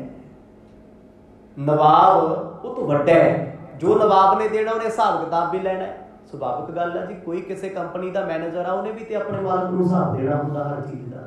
ਵੀ ਕਿੰਨੇ ਪ੍ਰੋਡਕਟ ਆਏ ਆ, ਕਿੰਨੇ ਸੇਲ ਕੀਤੇ ਆ, ਕਿੰਨੇ ਬਚ ਗਏ, ਕਿੰਨੇ ਐਕਸਪਾਇਰ ਹੋ ਗਏ, ਕਿੰਨੇ ਡਿਸਟਰਾਇਡ ਹੋਏ ਆ। ਹਰ ਚੀਜ਼ ਬਾਰੇ ਦੱਸਣਾ ਪੈਂਦਾ ਹੈ। ਗੁਰੂ ਸਾਹਿਬ ਹੱਸ ਕੇ ਕਹਿੰਦੇ ਕਹਿੰਦੇ ਉਹ ਮਾਲਕ ਹਿਸਾਬ ਲੈਣ ਵਾਲਾ ਬੈਠਾ ਹੈ। ਦੇਈ ਜਾਵਾਂਗੇ, ਆਖੋ ਸਤਨਾਮ। ਉਹ ਗੱਲ ਕਰਦੇ ਨੇ ਜੈ ਰਾਮ ਨਵਾਬ ਦਾ ਖਾਂਦੀ ਤੇ ਸਤਗੁਰ ਅਕਾਲ ਪੁਰਖ ਦੀ ਕਹਿੰਦੇ ਜਦੋਂ ਉਸ ਮਾਲਕ ਨੇ ਹਿਸਾਬ ਮੰਗਣਾ ਹਰ ਪਲ ਪਲ ਦਾ ਦੇਵਾਂਗੇ। ਚਲਿਏ ਨਵਾਬ ਪਾਸ ਮਿਲੇ ਆਵਾਸ ਤੇ ਕੀਜੈ ਨਾ ਬਿਲੰਬ ਅਬ ਭਲੋ ਦਿਨ ਆਜ ਕੋ। ਬੈਠੇ ਬੈਠੇ ਜੈਰਾਮ ਆਖਣ ਲੱਗੇ ਕਹਿੰਦੇ ਚਲੋ ਫਿਰ ਸੰਤ ਜੀ ਆਪਾਂ ਨਵਾਬ ਦੌਲਤ ਖਾਨ ਕੋਲ ਹੁਣੇ ਚੱਲਦੇ ਆ। ਬਾਣੀ ਵੀ ਕਹਿੰਦੀ ਆ ਨਾ ਕਬੀਰ ਕਾਲ ਕਰਤਾ ਅਬ ਹੈ ਕਰ ਵੀ ਜੇ ਕੋਈ ਚੰਗਾ ਕੰਮ ਕਰਨਾ ਹੈ ਕੱਲ ਕਿਉਂ ਕਰਨਾ ਹੈ? ਅੱਜ ਕਰੋ। ਅੱਜ ਵੀ ਕਿਉਂ ਕਰਨਾ ਹੈ? ਹੁਣੇ ਹੀ ਕਰੋ। ਚੰਗਾ। ਕੰਮ ਜੇ ਕਰਨਾ ਹੈ ਪਾਪ ਜੇ ਕਰਨਾ ਹੈ ਬੁਰਾ, ਫਿਰ ਅੱਜ ਤੋਂ ਕੱਲ ਕੱਲ ਤੋਂ ਪਰਸੋਂ ਪਾ ਦੋ ਹੋ ਸਕਦਾ ਖੇੜਾ ਹੀ ਛੁੱਟ ਜਾਵੇ। ਪਰ ਜਦ ਚੰਗਾ ਕੰਮ ਕਰਨਾ ਹੈ, ਸ਼ੁਭ ਕਰਮ ਕਰਨਾ ਨਾ, ਫਿਰ ਕੱਲ ਪਰਸੋਂ ਨਹੀਂ ਵੇਖੀ ਦੀ ਹੁੰਦੀ, ਫਿਰ ਜਦੇ ਕਦੇ ਉੱਠ ਕੇ ਕਹਿੰਦੇ, ਪਾਓ ਸੋਹਣੇ ਵਸਤਰ ਚਲੀਏ ਆਪਾਂ। ਕਿਉਂਕਿ ਆਪਾਂ ਜੇ ਕੰਮ ਸ਼ੁਰੂ ਕਰਨਾ ਤੇ ਫਿਰ ਹੁਣੇ ਕਰਦੇ ਹਾਂ। ਕੱਲ ਨਾਮ ਸਦਾ ਹੀ ਕਾਲ ਦਾ, ਬੜਾ ਕੁਝ ਆਪਣੀ ਜ਼ਿੰਦਗੀ 'ਚ ਹੁੰਦਾ, ਆਪਾਂ ਬੜੇ ਕੰਮ ਡਿਸਾਈਡ ਕਰਦੇ ਆ ਵੀ ਕੱਲ ਤੋਂ ਇਦਾਂ ਕਰਨਾ। ਉਹ ਕਰਨ ਵਾਲੀ ਕੱਲ ਹੀ ਨਹੀਂ ਕਦੇ ਆਈ ਆਖੋ ਸਤਨਾਮ। ਕੱਲ ਫਲਾਣੀ ਤਾਂ ਜਾਵਾਂਗੇ ਕੱਲ ਉੱਥੇ ਜਾਵਾਂਗੇ। ਗਏ ਹੋ ਕਦੇ? ਸ਼ੁਰੂ ਹੋਇਆ ਕਦੇ? ਸਲਾਹਾਂ ਹੀ ਰਹਿ ਜਾਂਦੀਆਂ। ਚੰਗੇ ਕੰਮ ਵਾਸਤੇ ਜੈਰਾਮ ਕਹਿੰਦੇ ਆਪਾਂ ਹੁਣੇ ਚੱਲਦੇ ਆ ਮਰਦ ਕਹਿੰਦੇ ਚਲੋ। ਫਿਰ। ਜਾਣਾ ਕਿੱਥੇ ਹੈ? ਨਵਾਬ ਦੌਲਤ ਖਾਨ ਦੇ ਘਰ। ਮਹਿਲਾ ਵਿੱਚ ਨਹੀਂ। ਉਹਦੇ ਵੱਡੇ ਰਾਜ ਭਾਗ ਦੇ ਸ਼ਾਸਨ ਦੇ ਦਰਬਾਰ ਵਿੱਚ ਨਹੀਂ ਜਾਣਾ। ਤੁਸੀਂ ਆਪ ਸੋਚੋ ਵੀ ਜਿੱਥੇ ਰਾਏ ਬੁਲਾਰ ਜੀ ਨਾਲ ਗੁਰੂ ਨਾਨਕ ਸਾਹਿਬ ਦੀ ਨੇੜਤ ਹੈ, ਘਰੇ ਆਉਣਾ ਜਾਣਾ ਹੈ ਇੱਕ ਰਾਜੇ ਉਹਨਾਂ ਸਮਿਆਂ ਦੇ ਮੁਗਲਾਂ ਦੇ ਰਾਜ ਵਿੱਚ। ਨਵਾਬ ਦੌਲਤ ਖਾਨ ਦੇ ਨਾਲ ਜੈ ਰਾਮ ਜੀ ਦੀ ਉੱਠਣੀ ਬੈਠਣੀ ਹੈ, ਘਰੇ ਆਉਣਾ ਜਾਣਾ ਤੇ ਕਿੱਡਾ ਵੱਡਾ ਰੁਤਬਾ ਹੋਊਗਾ। ਇੱਕ ਸਰਕਾਰੀ ਨੌਕਰੀ ਆ ਮੋਦੀ ਖਾਨ ਮੋਦੀ ਖਾਨੇ ਦੀ ਤੇ ਜੈ ਰਾਮ ਜੀ ਬੜੇ ਪਿਆਰ ਚ ਦਵਾ ਰਹੇ ਆ, ਕਿੰਨੀ ਵੱਡੀ ਪਹੁੰਚ ਹੋਊਗੀ। ਆ ਛੋਟੇ ਛੋਟੇ ਕੰਮਾਂ ਵਾਸਤੇ ਲੋਕੀ ਧਰਨੇ ਲਾਉਂਦੇ ਫਿਰਦੇ ਆ। ਛੋਟੀਆਂ ਛੋਟੀਆਂ ਨੌਕਰੀਆਂ ਵਾਸਤੇ ਸਰਕਾਰੀ ਵੀ ਨਹੀਂ ਹੁੰਦੀਆਂ। ਦਿਨ ਰਾਤ ਲੋਕੀ ਇੱਕ ਕਰ ਦਿੰਦੇ ਆ ਵੀ ਚਲੋ ਜੇ ਕਿਤੇ ਪੱਕੇ ਹੋ ਜੀਏ ਜੇ ਕਿਤੇ ਕੁਝ ਬਣ ਜੇ। ਪਰ ਜਿਨ੍ਹਾਂ ਤੇ ਛਤਰ ਛਾਇਆ ਹੋਵੇ ਸਰਕਾਰਾਂ ਦੀ, ਉਹਨਾਂ ਨੂੰ ਕਿਤੇ ਟੈਸਟ ਦੇਣੇ ਪੈਂਦੇ ਆ। ਸਿਫਾਰਿਸ਼ਾਂ ਦੀ ਲੋੜ ਹੁੰਦੀ ਉਹਨਾਂ ਨੂੰ। ਉਹ ਤੇ ਜਿੱਥੇ ਜਾਂਦੇ ਆ, ਉਹਨਾਂ ਤੋਂ ਪਹਿਲਾਂ ਹੀ ਕੰਮ ਰੱਖਿਆ ਪਿਆ ਹੁੰਦਾ। ਬਣੇ ਇਸੇ ਕਰਕੇ ਜੈਰਾਮ ਭਾਵਨਾ ਵਾਲੇ ਬੜੇ ਆ, ਸ਼ਰਧਾ ਵਾਲੇ ਬੜੇ ਆ, ਉਹਨਾਂ ਦਾ ਸਤਕਾਰ ਨਵਾਬ ਦੌਲਤ ਖਾਂ ਵੀ ਕਰਦਾ ਹੈ, ਕਿਉਂਕਿ ਰੱਬ ਨਾਲ ਜੁੜੇ ਹੋਏ ਬੰਦੇ ਨਵਾਬ ਦੌਲਤ ਖਾਂ ਵੀ ਭਗਤੀ ਵਾਲੇ ਇਨਸਾਨ ਨੇ। ਉਹ ਵੀ ਨਮਾਜ਼ ਅਦਾ ਕਰਦੇ ਆ, ਪੜ੍ਹਦੇ ਆ, ਖੁਦਾ ਖੁਦਾ ਜਪਦੇ, ਮੁਸਲਮਾਨ ਨੇ। ਵੇਖੋ, ਇਹ ਹਿੰਦੂ ਪਰਿਵਾਰ ਹੈ ਇਧਰੋਂ। ਜੈਰਾਮ ਜੀ, ਕੋਈ ਸਿੱਖ ਥੋੜਾ ਸੀ? ਇਹ ਤੇ ਬਾਅਦ ਵਿੱਚ ਆ ਕੇ ਜਦੋਂ ਗੁਰੂ ਨਾਨਕ ਸਾਹਿਬ ਮਹਾਰਾਜ ਪ੍ਰਚਲਿਤ ਸੰਸਾਰ ਵਿੱਚ ਹੋਏ, ਸਿੱਧਾ ਨਾਲ ਦੋਸਤਾਂ ਕੀਤੀਆਂ, ਫਿਰ ਸਾਰਿਆਂ ਨੇ ਸਿੱਖੀ ਦਾ ਕੀਤੀ ਪਹਿਲਾਂ ਤੇ ਪਰਿਵਾਰ ਆਪ ਦੀ ਸੁਣਦੇ ਆ ਰਹੇ ਹੋ, ਸਨਾਤਨ ਮਤ ਨਾਲ ਹੀ ਜੁੜੇ ਆ। ਪਿਤਾ ਜੀ ਨੇ ਵੀ ਜਨੇਊ ਪਾਇਆ ਹੋਇਆ ਹੈ, ਕਿਉਂਕਿ ਪਿਤਾ ਤੇ ਆਪਣੇ ਪੁੱਤ ਦੀ ਨਜ਼ਰ ਤੋਂ ਬਿਨਾ ਕੁਝ ਵੇਖਦਾ ਨਹੀਂ ਸਿੱਖਾਂ ਦੇ ਵਿੱਚੋਂ ਭਾਈ ਬਾਲਾ ਜੀ ਨੇ ਤੇ ਭੈਣ ਨਾਨਕੀ ਜੀ। ਤੇ ਜਾਂ ਫਿਰ ਸਿੱਖੀ ਧਾਰਨ ਕਰਦੇ ਜਾ ਰਹੇ ਨੇ ਜੈ ਰਾਮ ਜੀ। ਨੇੜੇ ਹੋ ਰਹੇ ਨੇ ਗੁਰੂ ਸਾਹਿਬ। ਉਹ ਸਤਿਗੁਰਾਂ ਨੂੰ ਨਾਲ ਲੈ ਕੇ ਕਹਿੰਦੀ, ਉਸੇ ਵੇਲੇ ਤਿਆਰ ਹੋ ਗਏ। ਨਵਾਬ ਦੌਲਤ ਖਾਨ, ਜੋ ਸੁਲਤਾਨਪੁਰ ਲੋਧੀ ਦਾ ਰਾਜਾ ਹੈ, ਉਹਦੇ ਘਰ ਵਿੱਚ ਪੁੱਜੇ ਹਨ। ਸੋਈਆ ਦੋਤ ਖਾਨ ਕੀ ਭੂਣ ਗਈ ਪ੍ਰਭ। ਜਾਏ ਮਿਲੇ ਸਭ ਬਾਤ ਜਣਾਈ ਨਵਾਬ ਦੌਲਤ ਖਾਨ ਆਪਣੇ ਬਾਗ ਵਿੱਚ ਬੈਠਾ ਸੀ। ਅੱਗੇ ਰਾਜੇ ਮਹਾਰਾਜਿਆਂ ਦੇ ਵੱਡੇ ਵੱਡੇ ਬਾਗ ਹੁੰਦੇ ਸੀ ਘਰ। ਗੁਰੂ ਨਾਨਕ ਸਾਹਿਬ ਮਹਾਰਾਜ ਘਰੇ ਆਏ ਉਹਨਾਂ ਦੇ। ਜੈ ਰਾਮ ਜੀ ਨੂੰ ਵੇਖ ਕੇ ਨਵਾਬ ਦੌਲਤ ਖਾਂ ਉੱਠੇ ਕੁਰਸੀ ਤੋਂ। ਸਤਕਾਰ ਕੀਤਾ ਉਹਨਾਂ ਨੇ। ਸੱਚੀ ਬੰਦੇ ਦਾ ਸਤਕਾਰ ਕਦੋਂ ਹੁੰਦਾ, ਉਹਦੇ ਸ਼ੁਭ ਕਰਮਾਂ ਕਰਕੇ ਪੈਸੇ ਕਰਕੇ ਸਤਕਾਰ 4 ਦਿਨ ਬਰਕਰਾਰ ਰਹਿ ਸਕਦਾ, ਮਾਇਆ ਵਾਲਿਆਂ ਦੀ ਤੂਤੀ 4 ਦਿਨ ਵੱਜਦੀ, ਮੁੜ ਕੇ ਕੌਣ ਪੁੱਛਦਾ ਹੈ? ਪਰ ਚੰਗੇ ਕੰਮ ਕਰਨ ਵਾਲੇ, ਸੇਵਾ ਸਿਮਰਨ ਵਾਲਿਆਂ ਨੂੰ ਲੋਕੀ ਸਦਾ ਹੀ ਉੱਠ ਕੇ ਮਿਲਦੇ ਗੁਰੂ ਨਾਨਕ ਸਾਹਿਬ ਜੀ ਦੇ ਹੱਥ ਜੋੜ ਕੇ ਨਮਸਕਾਰ ਕੀਤੀ। ਨਵਾਬ ਦੌਲਤ ਖਾਨ, ਜੋ ਸੁਲਤਾਨਪੁਰ ਲੋਧੀ ਦੇ ਸੀ, ਉਹਨਾਂ ਨੇ ਜੀ ਆਇਆ ਕਿਹਾ, ਬੈਠਣ ਨੂੰ ਕਲਗਾ ਦਿੱਤਾ, ਆਪ ਕੋਲੇ ਬਹਿ ਗਏ ਸੁੱਖ ਸਾਂਦ ਹੋਈ। ਪੁੱਛਿਆ ਤੇ ਜੈਰਾਮ ਜੀ ਨੇ ਦੱਸਿਆ ਸਾਰਾ ਕੁਝ ਵੀ ਇਹ ਸਾਡੇ ਸੰਬੰਧੀ ਨੇ, ਰਿਸ਼ਤੇਦਾਰ ਨੇ। ਸਾਰੀ ਗੱਲ ਸਮਝਾਈ ਹੈ, ਭੈਣ ਨਾਨਕੀ ਜੀ ਦੇ ਭਰਾ ਨੇ, ਕਿਉਂਕਿ ਰਿਸ਼ਤਾ ਹੋਇਆ ਤੇ ਨਵਾਬ ਜੀ ਦੇ ਕਰਕੇ ਹੀ ਹੈ। ਨਵਾਬ ਦੌਲਤ ਖਾਨ ਇਧਰੋਂ ਸੀ, ਉਧਰ ਰਾਏ ਬੁਲਾਰ ਸਾਹਿਬ ਸੀ। ਪਰ ਗੁਰੂ ਨਾਨਕ ਸਾਹਿਬ ਮਹਾਰਾਜ ਨੂੰ ਇਹ ਕਦੇ ਨਹੀਂ ਸੀ ਮਿਲੇ। ਮੈਂ ਪਹਿਲਾਂ ਵੀ ਬੇਨਤੀ ਕੀਤੀ ਸੀ ਵੀ ਉਹਨਾਂ ਸਮਿਆਂ 'ਚ ਦੇਖ ਦਿਖਾਈਆਂ ਨਹੀਂ ਸੀ ਹੁੰਦੀਆਂ। ਭਾਵੇਂ ਗੁਰੂ ਸਾਹਿਬ ਇੱਥੇ ਦੂਜੀ ਵਾਰ ਆਏ ਆ ਸੁਲਤਾਨਪੁਰ ਲੋਧੀ, ਸਤਿਗੁਰਾਂ ਦੇ ਪਿਤਾ ਦੀ ਜਿੱਦਣ ਦੀ ਧੀ ਵਿਆਹੀ ਇੱਕ ਦਿਨ ਘਰ ਵੀ ਵੇਖਣਾ ਹੈ ਮਾਤਾ ਜੀ ਨੂੰ ਪਤਾ ਧੀ ਦਾ ਘਰ ਕਿੱਥੇ ਹੈ ਉਦੋਂ ਕਿਹੋ ਜਿਹੀਆਂ ਇੱਥੇ ਵਰਗੇ ਸਿਸਟਮ ਸੀ? ਗੁਰੂ ਨਾਨਕ ਸਾਹਿਬ ਮਹਾਰਾਜ ਨੂੰ ਵੇਖ ਕੇ ਉਹਨਾਂ ਨੇ ਨਮਸਕਾਰ ਕੀਤੀ, ਵੇਖਿਆ ਰੂਪ ਬੜਾ ਹਸੀਨ ਬੜੇ ਸ਼ਾਂਤ ਚਿੱਤ ਨੇ। ਚਿਹਰੇ ਦਾ ਪ੍ਰਭਾਵ ਬੜਾ ਹੈ ਬੇਸ਼ੱਕ ਉਹ ਨਵਾਬ ਮੁਸਲਮਾਨ ਹੈ ਕਿ ਮੁਸਲਮਾਨ ਭਗਤ ਨਹੀਂ ਹੁੰਦਾ? ਜਾਂ ਮੁਸਲਮਾਨ ਸਿੱਖ ਨਹੀਂ? ਸਿੱਖ ਤੇ ਹਰ ਧਰਮ ਚ ਹੁੰਦਾ ਜਿਹਨੇ ਸਿੱਖਿਆ, ਜੀਵਨ ਵਿੱਚ ਧਾਰਨ ਕੀਤੀ ਹੈ। ਬੜੇ ਮੁਸਲਮਾਨ ਐਸੇ ਜਿਹੜੇ ਹਰ ਵੇਲੇ ਰੱਬ ਦੀ ਇਬਾਦਤ ਵਿੱਚ ਹੀ ਜੁੜੇ ਰਹਿੰਦੇ ਆ। ਤੇ ਸੱਚੀ ਉਹ ਕਿੱਡੇ ਵੱਡੇ ਭਾਗ ਉਹਨਾਂ ਦੇ ਹੋਣੇ ਜਿਨ੍ਹਾਂ ਦੇ ਘਰੇ ਰੱਬ ਆ ਕੇ ਬੈਠੇ ਆ। ਇਹ ਤੋਂ ਵੱਡਾ ਵੱਡਾ ਕੀ ਹੋ ਸਕਦਾ? ਦੌਲਤ ਖਾਂ ਬਚਨ ਬਲਾਸ ਕਰਦੇ ਰਹੇ ਪੁੱਛਦੇ ਕਹਿੰਦੇ ਕਿਵੇਂ ਆਉਣਾ ਹੋਇਆ? ਹੁਕਮ ਕਰੋ। ਜੈਰਾਮ ਜੀ ਨੇ ਦੱਸਿਆ ਵੀ ਇਹ ਕੰਮ ਕਰਨਾ ਚਾਹੁੰਦੇ ਆ। ਫਕੀਰਾਂ ਸਾਧੂਆਂ ਵਾਲਾ ਜੀਵਨ ਹੈ। ਬਹੁਤ ਬੰਦਗੀ ਕਰਦੇ ਆ, ਨਾਮ ਜਪਦੇ ਆ, ਪਰ ਹੁਣ ਇਹ ਕਹਿੰਦੇ ਆ, ਅਸੀਂ ਆਪਣੀ ਕਿਰਤ ਕਰਕੇ ਰੋਟੀ ਖਾਣੀ ਹੈ। ਤੁਹਾਡੇ ਘਰ ਦਾ ਭੋਜਨ ਅਸੀਂ ਨਹੀਂ ਛਕਣਾ। ਗੁਰੂ ਸਾਹਿਬ ਦੇ ਬਚਨ ਸੀ ਕੱਲ ਆਪ ਜੀ ਨੇ ਸੁਣਿਆ ਬੜੇ ਵਿਸਥਾਰ ਸੇ ਦੌਲਤ ਖਾਂ ਸੁਣ ਕੇ ਬੜਾ ਪ੍ਰਭਾਵਿਤ ਹੋਇਆ ਵੀ ਦੁਨੀਆ ਤੇ ਇਹੋ ਜਿਹਾ ਕੌਣ ਹੈ ਜਿਹੜਾ ਆਖੇ, ਮੈਂ ਆਪਣੀ ਕਿਰਤ ਦੀ ਰੋਟੀ ਆਪ ਖਾਣੀ, ਮੈਂ ਕਿਸੇ ਦੀ ਮੁਫਤ ਰੋਟੀ ਨਹੀਂ ਖਾਣੀ। ਕਿੱਥੇ ਲਿਖਿਆ ਗਿਆ? ਕਿਹਾ ਸੀ ਗੁਰੂ ਸਾਹਿਬ ਨੇ, ਕਹਿੰਦੇ ਮੈਂ ਆਪਣੀ ਕਿਰਤ ਵਿੱਚੋਂ ਦਾਨ ਕਰਨਾ ਚਾਹੁੰਦਾ, ਤੁਹਾਡੇ ਘਰ ਚੋਂ ਮੈਂ ਦਾਨ ਕਰਾਂ, ਉਹ ਦਾਨ ਨਹੀਂ ਹੈ, ਉਹ ਪੁੰਨ ਨਹੀਂ ਹੈ, ਸਾਡੇ ਸਿਰ ਦੀ ਭਾਰ ਹੈ। ਦੌਲਤ ਖਾਂ ਇਹਨਾਂ ਸ਼ੁਭ ਬਚਨਾਂ ਤੋਂ ਬੜਾ ਪ੍ਰਭਾਵਿਤ ਹੋਇਆ ਸੁਲਤਾਨਪੁਰ ਲੋਧੀ ਦਾ ਰਾਜਾ ਸੁਣ ਕੇ ਬੜਾ ਪ੍ਰਸੰਨ ਹੈ। ਨਾਨਕ ਰੂਪ ਨਿਹਾਰ ਨਵਾਬ, ਕਹੈ, ਏ ਮੋਦੀ ਕਾਰ ਚਲਾਏ ਗੁਰੂ ਨਾਨਕ ਸਾਹਿਬ ਜੀ ਨੂੰ ਵੇਖ ਕੇ ਨਵਾਬ ਦੌਲਤ ਖਾਂ ਪੁੱਛਦੇ ਆ, ਕਹਿੰਦੇ, ਇਹ ਕਰਨਗੇ ਨਾ ਮੋਦੀ ਖਾਨੇ ਦੀ ਕਾਰ? ਕਾਰ ਨਾਮ ਕੰਮ, ਕ੍ਰਿਤ ਨਾਮ ਕੰਮ ਦਾ। ਕਹਿੰਦੇ, ਮੋਦੀ ਖਾਨੇ ਦਾ ਕੰਮ ਸੰਭਾਲ ਲੈਣਗੇ ਨਾ। ਇਹ ਵਰਗਲੀ ਗੱਲਾਂ ਨੇ। ਕੋਈ ਸ਼ੱਕ ਨਹੀਂ ਹੈ ਉਹਨਾਂ ਉਹ ਜਾਣਦੇ ਆ ਵੀ ਏਡੇ ਪਿਆਰ ਵਾਲੇ ਮਹਾਪੁਰਖ ਸਾਧੂ ਹੇਰ ਫੇਰ ਨਹੀਂ ਕਰਨਗੇ ਇਹ ਤੇ ਪੱਕੀ ਗੱਲ ਆ ਨਾ ਵੀ ਧਰਮੀ ਬੰਦਾ ਹਮੇਸ਼ਾ ਖਰਾ ਤੋਲਦਾ ਸੱਚਾ ਤੋਲਦਾ ਹੈ ਪਰ ਮਾਫ ਕਰਿਓ ਕਿਤੇ ਬਾਹਰ ਜਾ ਕੇ ਸੁਣਾਉਣ ਨਾ ਲੱਗ ਜਾਓ ਵੀ ਸਾਨੂੰ ਫਲਾਣੇ ਨੇ ਲੁੱਟ ਲਿਆ ਸੀ। ਅੱਜ ਕੱਲ ਇਹ ਵੀ ਦੀ ਜ਼ਰੂਰੀ ਵੀ ਧਰਮੀ ਬੰਦਾ ਹੀ ਸੱਚਾ ਹੈ ਕਿਉਂਕਿ ਮੇਰੇ ਵਰਗਾ ਜੱਡਾ ਚੌੜਾ ਗਾਤਰਾ ਉਹਨਾਂ ਵੱਡਾ ਠੱਗ ਖੋ ਸਾਡਾ ਨਾਮ। ਵੇਖੋ ਤੇ ਸਹੀ ਜਾ ਕੇ ਦੁਨੀਆ 'ਚ। ਲੋਕ ਧਰਮ ਦਾ ਪਹਿਰਾਵਾ ਪਾ ਕੇ ਜੇਬ ਕੱਟਣੋਂ ਅਜੇ ਵੀ ਨਹੀਂ ਹਟਦੇ। ਸਾਰੇ ਇਹੋ ਜਿਹੇ ਨਹੀਂ ਹੁੰਦੇ। ਬੜੇ ਐਸੇ ਵੀ ਨੇ। ਬਾਣੀ ਪੜਨ ਵਾਲੇ, ਨਾਮ ਜਪਣ ਵਾਲੇ, ਕਲਮਾ ਪੜਨ ਵਾਲੇ, ਹਨੂਮਾਨ ਚਾਲੀਸਾ ਪੜਨ ਵਾਲੇ, ਧਰਮੀ ਲੋਕ ਜਿਹੜੇ ਕਿਸੇ ਦੀ ਗਰੀਬੀ ਵੇਖ ਕੇ ਕਦੇ ਪੈਸੇ ਵੀ ਨਹੀਂ ਲੈਂਦੇ ਦੁਕਾਨ ਕਦੇ ਕੋਈ ਨਹੀਂ ਲੈਂਦਾ ਬੜੇ ਵੇਖੇ ਹੋਣੇ ਤੇ ਬੜੇ ਐਸੇ ਵੀ ਨੇ, ਧਰਮ ਦੇ ਨਾਂ ਤੇ ਪਰਚੀਆਂ ਕੱਢਦੇ ਫਿਰੀ ਜਾਂਦੇ ਨੇ। ਅਸੀਂ ਆਹ ਕਰਨਾ, ਅਸੀਂ ਆਹ ਕਰਨਾ, ਅਸੀਂ ਉਹ ਕਰਨਾ, ਉਹ ਕੀ ਧੰਦਾ ਹੈ? ਉਹਨਾਂ ਬੜੇ ਸਹਿ ਸੁਭਾਅ ਠਰਮੇ ਨਾਲ ਪੁੱਛਿਆ, ਕਹਿੰਦੇ ਮੋਦੀ ਖਾਨਾ ਇਕੱਲੇ ਸੰਭਾਲਣਗੇ? ਜੈਰਾਮ ਜੀ ਕਹਿੰਦੇ, ਹਾਂਜੀ। ਸੰਭਾਲ ਲੈਣਗੇ ਕਿਉਂਕਿ ਸੰਭਾਲਣਾ ਜ਼ਿੰਮੇਵਾਰੀ ਹੈ। ਉਹ ਗੁਰੂ ਸਾਹਿਬ ਦੀ ਮਰਜ਼ੀ ਹੈ ਭਾਵੇਂ 10 ਨੌਕਰ ਰੱਖਣ ਭਾਵੇਂ 20 ਰੱਖਣ ਭਾਵੇਂ ਇਕੱਲੇ ਕਰਨ ਮਾਲਕੀਅਤ ਜ਼ਿੰਮੇਵਾਰੀ ਉਤੇ ਸਤਿਗੁਰਾਂ ਦੀ ਹੈ ਨਾ।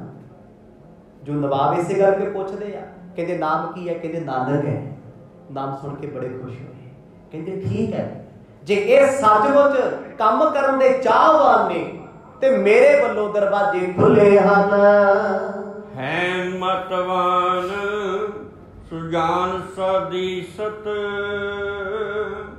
ਪੋਸ਼ਛ ਦੇਤ ਭਇਓ ਹਰ ਖਾਏ। ਜੈਰਾਮ ਜੀ ਆਖਣ ਲੱਗੇ, ਕਹਿੰਦੇ ਕੋਈ ਪੁੱਛਣਾ ਗਿੱਛਣਾ ਹੋਵੇ ਇਹਨਾਂ ਨੂੰ, ਪੁੱਛ ਸਕਦੇ ਹੋ ਹਿਸਾਬ ਕਿਤਾਬ ਬਾਰੇ, ਕਿਉਂਕਿ ਨੌਕਰੀ ਹੈ, ਖੇਡ ਥੋੜਾ ਕੋਈ। ਐਡੀ ਵੱਡੀ ਜ਼ਿੰਮੇਵਾਰੀ ਦੇਣੀ ਹੈ।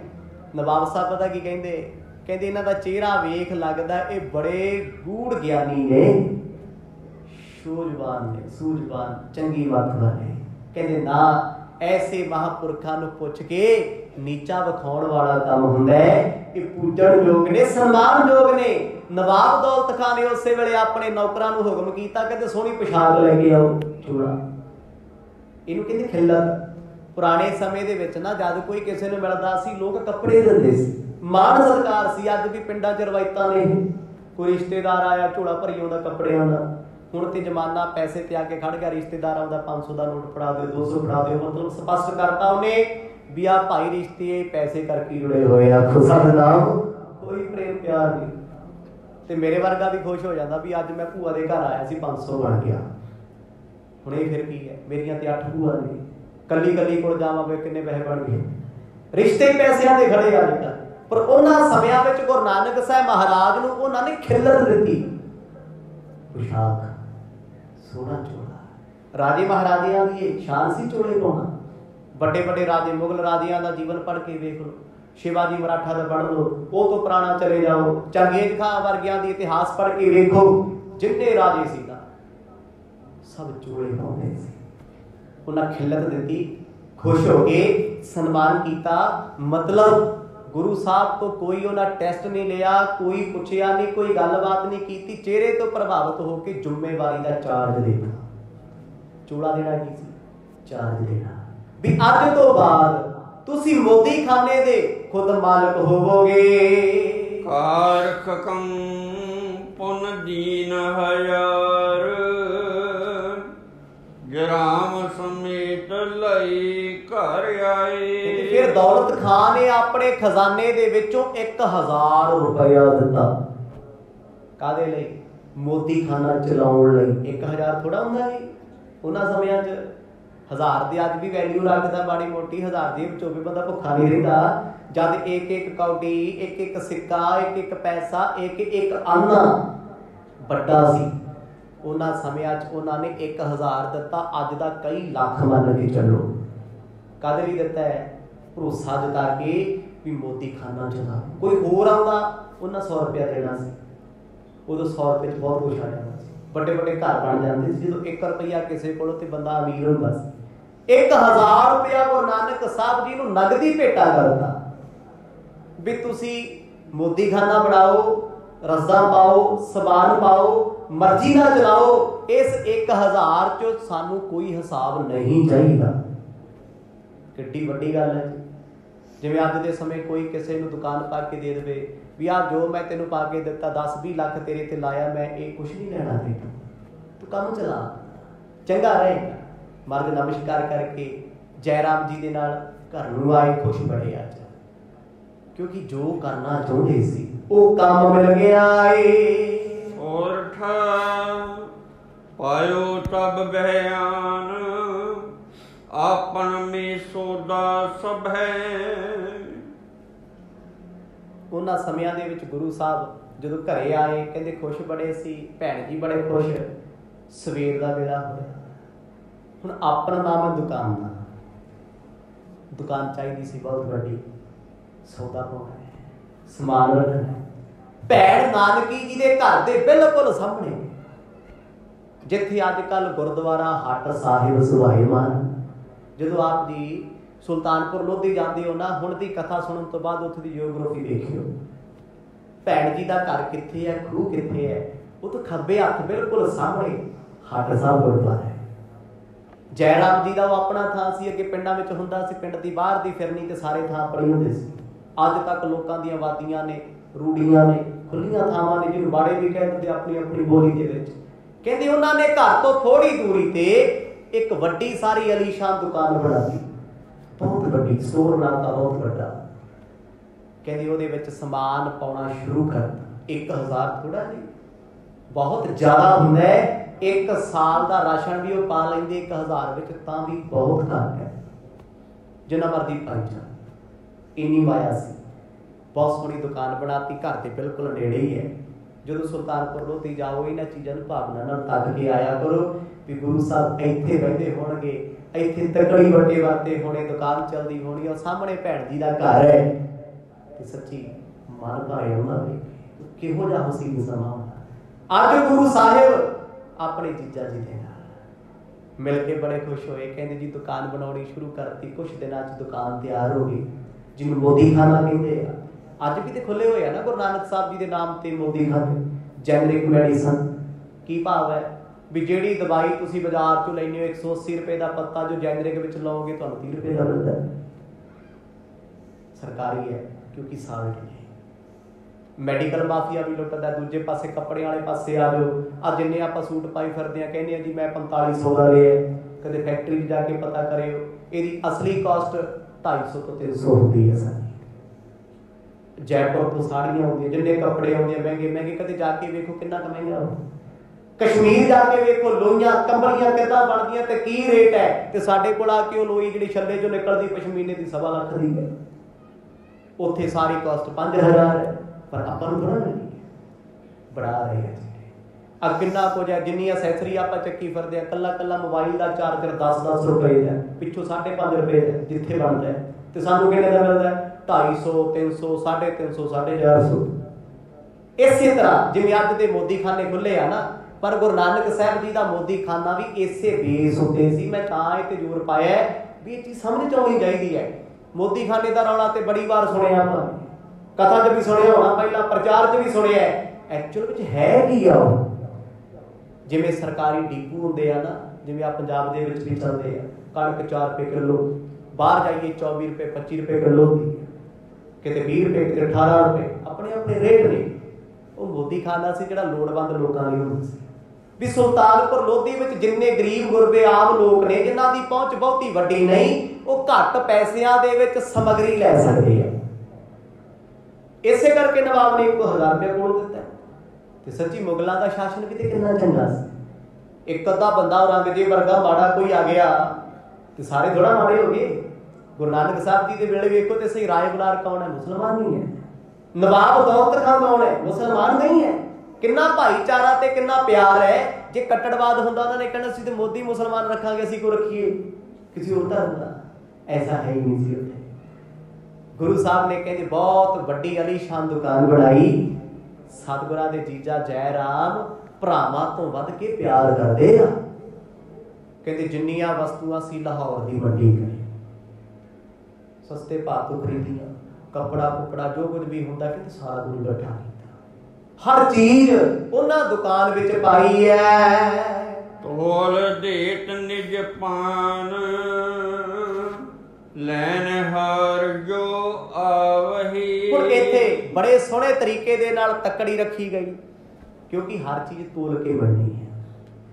ਪੁਰਾਣੇ ਸਮੇਂ ਲੋਕੀ ਨਾ ਪੈਸੇ ਪੁਸੇ ਘੱਟ ਚੱਲਦੇ ਹੁੰਦੇ ਸੀ ਕਦੇ ਬਜ਼ੁਰਗਾਂ ਨੂੰ ਪੁੱਛਿਓ ਅੱਜ ਤੋਂ 30 ਕੁ ਸਾਲ ਪਿੱਛੇ ਝਾਤ ਮਾਰ ਕੇ ਵੇਖੋ ਪਿੰਡਾਂ ਵਾਲੇ ਪਾਸੇ ਅੱਜ ਵੀ ਕਈ ਪਿੰਡਾਂ 'ਚ ਹੈ ਬਠਿੰਡੇ ਵਾਲੇ ਪਾਸੇ। ਲੋਕਾਂ ਨੇ ਕਣਕ ਪਾਉਣੀ ਸਮਾਨ ਲੈ ਲੈਣਾ। ਕਿਲੋ ਕਣਕ ਦੇਤੀ ਫਰੂਟ ਲੈ ਲਏ ਸਬਜ਼ੀਆਂ ਲੈ ਫਿਰ ਉਹ ਕਣਕਾਂ ਇਕੱਠੀਆਂ ਕਰਕੇ ਅੱਗੇ ਵੇਚੀਆਂ ਜਾਂਦੀਆਂ ਸੀ। ਪੈਸਾ ਫੇਰ ਆ ਜਾਂਦਾ ਸੀ। ਮਤਲਬ ਇਹਨੂੰ ਧਨ ਕਿਹਾ ਜਾਂਦਾ ਸੀ ਜਿਵੇਂ ਪਸ਼ੂ ਵੀ ਧਨ ਹੈ। ਕਿਵੇਂ? ਜੋ ਮਰਜ਼ੀ ਪਾਓ ਦੁੱਧ ਵੇਚ ਕੇ ਮਿਲਦਾ ਕੀ ਹੈ? ਅਨਾਜ ਕੀ ਹੈ? ਦਾਣਾ ਕੀ ਸੀ? ਧਨ ਸੀ। ਲੋਕ ਦਾਣਾ ਬੀਜਦੇ ਸੀ ਮੱਕੀ ਟਾਂਡੀ ਬੀਜਦੇ ਸੀ ਵੇਚਦੇ ਸੀ ਪੈਸੇ ਮਿਲਦੇ ਸੀ। ਅਦਲਾ ਬਦਲਾ ਆਦਾਨ ਪ੍ਰਦਾਨ ਹੁੰਦਾ ਸੀ। ਉਹਨਾਂ ਸਮਿਆਂ ਦੇ ਵਿੱਚ ਗੁਰੂ ਸਾਹਿਬ ਨੇ ਤਕੜੀਆਂ ਰੱਖੀਆਂ। ਵੱਟੇ ਲਿਆ ਕੇ ਖਰੀਦੇ ਖਰੀਦ ਕੇ ਲਿਆ ਕੇ ਰੱਖ ਦਿੱਤੇ ਦੁਕਾਨ ਦੇ ਵਿੱਚ ਕਿਉਂਕਿ ਇੱਥੇ ਹਰ ਚੀਜ਼ ਰਜਿਸਟਰ ਉੱਤੇ ਚੜ੍ਹਨੀ ਹੈ। ਇਹ ਨਹੀਂ ਵੀ ਜੋ ਮਰਜ਼ੀ ਦੇਤਾ ਜੋ ਮਰਜ਼ੀ ਠੀਕ ਹੈ। ਜੇ ਕਿਸੇ ਨੂੰ 1 ਕਿਲੋ ਆਟਾ ਵੀ ਦਿੱਤਾ ਤੇ ਉਹ ਵੀ ਬਈ ਤੇ ਲਿਖਿਆ ਜਾਣਾ ਹੈ ਫਲਾਣਾ ਸੂ ਨੂੰ ਇੰਨਾ ਕਿਲੋ ਆਟਾ। ਡੀਪੂ 'ਚ ਨਹੀਂ ਲਿਖਿਆ ਜਾਂਦਾ। ਲਿਖਦੇ ਆ ਅੱਜ ਕੱਲ ਤੇ ਸਮਾਰਟ ਕਾਰਡ ਬਣਿਆ ਅੰਗੂਠਾ ਲੱਗਦਾ, ਸਾਰਾ ਆ ਜਾਂਦਾ ਵੀ ਇਹ ਪਰਿਵਾਰ ਕਿੰਨੀ ਵਾਰ ਲੈ ਕੇ ਗਿਆ, ਕਿੰਨਾ ਲੈ ਕੇ ਗਿਆ। ਪੁਰਾਣੇ ਸਮੇਂ ਕਾਪੀਆਂ ਹੁੰਦੀਆਂ ਸੀ ਬੜੀਆਂ। ਗੁਰੂ ਸਾਹਿਬ ਵੇਲੇ ਵੀ ਬਈ ਖਾਤੇ ਬਣੇ ਹੋਏ ਆ। ਕਿਉਂਕਿ ਇਹ ਸਤਿਗੁਰਾਂ ਦਾ ਕੋਈ ਪਰਸਨਲੀ ਨਹੀਂ ਹੈ। ਇਹ ਵੀ ਧਿਆਨ ਰੱਖਿਓ, ਇਹ ਜੋ ਮੋਦੀ ਖਾਨਾ ਖੁੱਲਣ ਲੱਗਿਆ ਨਾ, ਨਵਾਬ ਦੌਲਤ ਖਾਨ ਨੇ, ਇਹਦੀ ਅਲਾਟਮੈਂਟ ਕੀਤੀ ਹੈ, ਪੈਸੇ ਦਿੱਤੇ 1000 ਰੁਪਈਆ। ਮੋਦੀ ਕੌਣ ਨੇ? ਨਵਾਬ ਦੇ। ਗੁਰੂ ਸਾਹਿਬ। ਕਰਕੇ ਵਿਖਾ ਰਹੇ ਨੇ ਦੁਨੀਆ ਨੂੰ ਵੀ ਕਿਰਤ ਵਿੱਚ ਰੱਬ ਕਿਵੇਂ ਵਰਤਦਾ ਹੈ। ਕਿਵੇਂ ਪਰਮੇਸ਼ਰ ਕੰਮ ਕਿਰਤ ਵਿੱਚ ਆਪ ਵਸਦਾ ਏ। ਤੋਹਰਾ ਆਇਸ ਲੀ ਕਰ ਸੁਸਾ ਕੀ ਖਾਨ ਪਾਨ ਬਿਦਸ ਜੋਏ।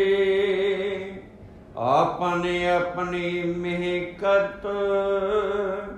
ਜਿਮ ਰੁਚ ਚਿਤ ਮਿਹ ਹੋਏ। ਸਤਿਗੁਰ ਦੀ ਭੈਣ ਜੀ ਤੋਂ ਆਗਿਆ ਲੈ ਕੇ ਹਰ ਰੋਜ਼ ਸਵੇਰੇ ਸਵੇਰੇ ਭੋਜਨ ਛਕ ਕੇ ਮੋਦੀ ਖਾਨੇ ਤੇ ਆ ਕੇ ਬੈਠ ਜਾਂਦੇ ਆ। ਸਾਰਾ ਦਿਨ ਉਹ ਕਿਰਤ ਕਰਦੇ ਨੇ ਧਰਮ ਦੀ ਸੱਚੀ ਕਿਰਤ। ਸ਼ਾਮ ਦਾ ਸੰਧਿਆ ਦਾ ਵੇਲਾ ਹੁੰਦਾ ਘਰੇ ਆ ਜਾਂਦੇ ਨੇ। ਦਿਨ ਦੇ ਵਿੱਚ ਰੋਟੀ, ਭੋਜਨ। ਕਦੇ ਸੇਵਕ ਦੇ ਜਾਂਦੇ ਨੇ। ਕਦੇ ਕਦੇ ਗੁਰੂ ਸਾਹਿਬ ਆਪ ਛਕ ਜਾਂਦੇ ਨੇ ਆ ਕੇ, ਕਿਉਂਕਿ ਬਹੁਤ ਘੱਟ ਛਕਦੇ ਸੀ। ਤੇ ਕਈ ਵਾਰ ਭੈਣ ਜੀ ਨੇ ਆਉਣਾ ਕਿ ਕੋਲ ਬਹਿ ਜਾਣਾ ਨਾਲੇ ਲੱਸੀ ਛਕਾ ਜਾਣੀ ਦੁੱਧ ਛਕਾ ਜਾਣਾ ਬਿਲਕੁਲ ਘਰ ਦੇ ਨੇੜੇ ਮੋਦੀ ਖਾਨਾ। ਕਹਿੰਦੇ ਮਹਾਰਾਜ ਇੰਨੇ ਪਿਆਰ ਚ ਭੇਜ ਗਏ ਤੇ ਭੈਣ ਬੜੀ ਪ੍ਰਸੰਨ ਹੈ ਬਾਪੂ ਰੋਜ਼ ਕਹਿੰਦਾ ਸੀ ਮੇਰਾ ਮੁੰਡਾ ਕੁਝ ਨਹੀਂ ਕਰਦਾ। ਇਹ ਆ ਕੁਝ ਨਹੀਂ ਬਣਦਾ। ਤੇ ਭੈਣ ਨੂੰ ਖੁਸ਼ੀ ਹੈ ਵੀ ਚੱਲ ਸ਼ੁਕਰ ਹੈ ਸਤਿਗੁਰ ਸੱਚੇ ਪਾਤਸ਼ਾਹ ਕੰਮ ਵਿੱਚ ਚਿੱਤ ਤੇ ਪ੍ਰਚਾਰ ਰਹੇ ਨੇ ਨਾ। ਉਹਨਾਂ ਨੂੰ ਇਹ ਨਹੀਂ ਹੈ ਵੀ ਪੈਸੇ ਕਮਾਉਣਗੇ ਇਕੱਠੇ ਕਰਨਗੇ ਤੇ ਭੁਲੇਖਾ ਕੱਢ ਦਿਓ ਮਨ।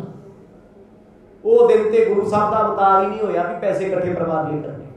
ਖੁਸ਼ੀ ਇੰਨੀ ਜ਼ਿਆਦਾ ਸੀ ਪਰਿਵਾਰ ਨੂੰ ਵੀ ਚਲੋ ਸਤਿਗੁਰ ਜੀ ਕਿਸੇ ਬਹਾਨੇ ਦੁਨੀਆ ਦਾ ਭਲਾ ਕਰਨਗੇ, ਕਿਉਂਕਿ ਭੈਣ ਅੰਦਰੋਂ ਜਾਣਦੀ ਹੈ, ਮੇਰਾ ਵੀਰ ਪਰਮੇਸ਼ਰ ਪਰਮਾਤਮਾ ਹੈ। ਗੁਰੂ ਸਾਹਿਬ ਨੇ ਸਵੇਰੇ ਆਉਣਾ, ਸ਼ਾਮ ਤੱਕ, ਕਈ ਵਾਰ ਦੇਰ ਰਾਤ ਤੱਕ ਮੋਦੀ ਖਾਨੇ ਤੇ ਬੈਠਣਾ ਆਏ ਕਬਿਤ ਆਵਤ ਹੈ ਯਾਰ ਮੋਦੀ ਖਾਨੇ ਕੀ ਚਲਾਈ ਕਾਰ। ਲੇਤ ਜੋ ਆਏ ਸੋ ਜਾਏ ਹੁਲਸਾਈ ਕੈ। ਜਦੋਂ ਨਵਾਂ ਨਵਾਂ ਮੋਦੀ ਖੁੱਲਿਆ ਸੁਲਤਾਨਪੁਰ ਲੋਧੀ ਚ ਕਹਿੰਦੇ ਚਰਚਾ ਦਾ ਵਿਸ਼ਾ ਬਣ ਗਿਆ, ਬੜਾ ਰੌਲਾ। ਹੁਣ ਸਤਿਗੁਰਾਂ ਦੇ ਨਾਲ ਭਾਈ ਬਾਲਾ ਜੀ ਮੋਦੀਖਾਨੇ ਚ ਕੰਮ ਕਰਦੇ ਆ। ਭਾਈ ਬਾਲਾ ਜੀ ਦਾ ਕਾਹਦਾ ਕੰਮ ਹੈ? ਕਹਿੰਦੇ ਲਿਖਣਾ, ਪੜ੍ਹਨਾ।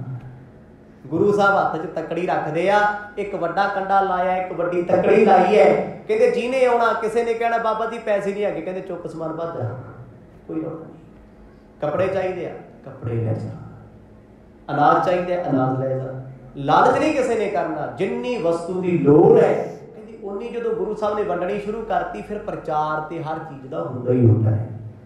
ਹਜ਼ਾਰਾਂ ਲੋਕ ਕਤਾਰਾਂ ਬੰਨ ਕੇ ਮੋਦੀ ਖਾਨੇ ਦੇ ਸਾਹਮਣੇ ਵਸਤੂਆਂ ਲੈਣ ਲਈ ਆਉਣ ਲੱਗੇ ਨੇ ਗੋਤਮ ਕੋ ਚੁੰਨ ਮਾਖਦਾਰ ਲੋਣ ਕ੍ਰਿਤਬੋ ਹਰਦੀ ਮਚ ਦੋ ਤਰੇ ਹੈ ਮੰਗਾਈ ਕੈ ਇੱਥੇ ਕੀ ਕੀ ਹੈ ਜੀ ਬੜਾ ਮੋਟਾ ਪਤਾ ਤੇ ਹੋਣਾ ਚਾਹੀਦਾ ਨਾ ਵੀ ਗੁਰੂ ਸਾਹਿਬ ਮੋਦੀ ਖਾਨਾ ਕਰਦੇ ਆ, ਆਪਾਂ ਸਾਰੇ ਸੁਣਾਈ ਜਾਂਦੇ। ਹੁਣ ਮੋਦੀ ਖਾਨੇ ਤੇ ਰੱਖਿਆ ਕੀ ਹੋਇਆ?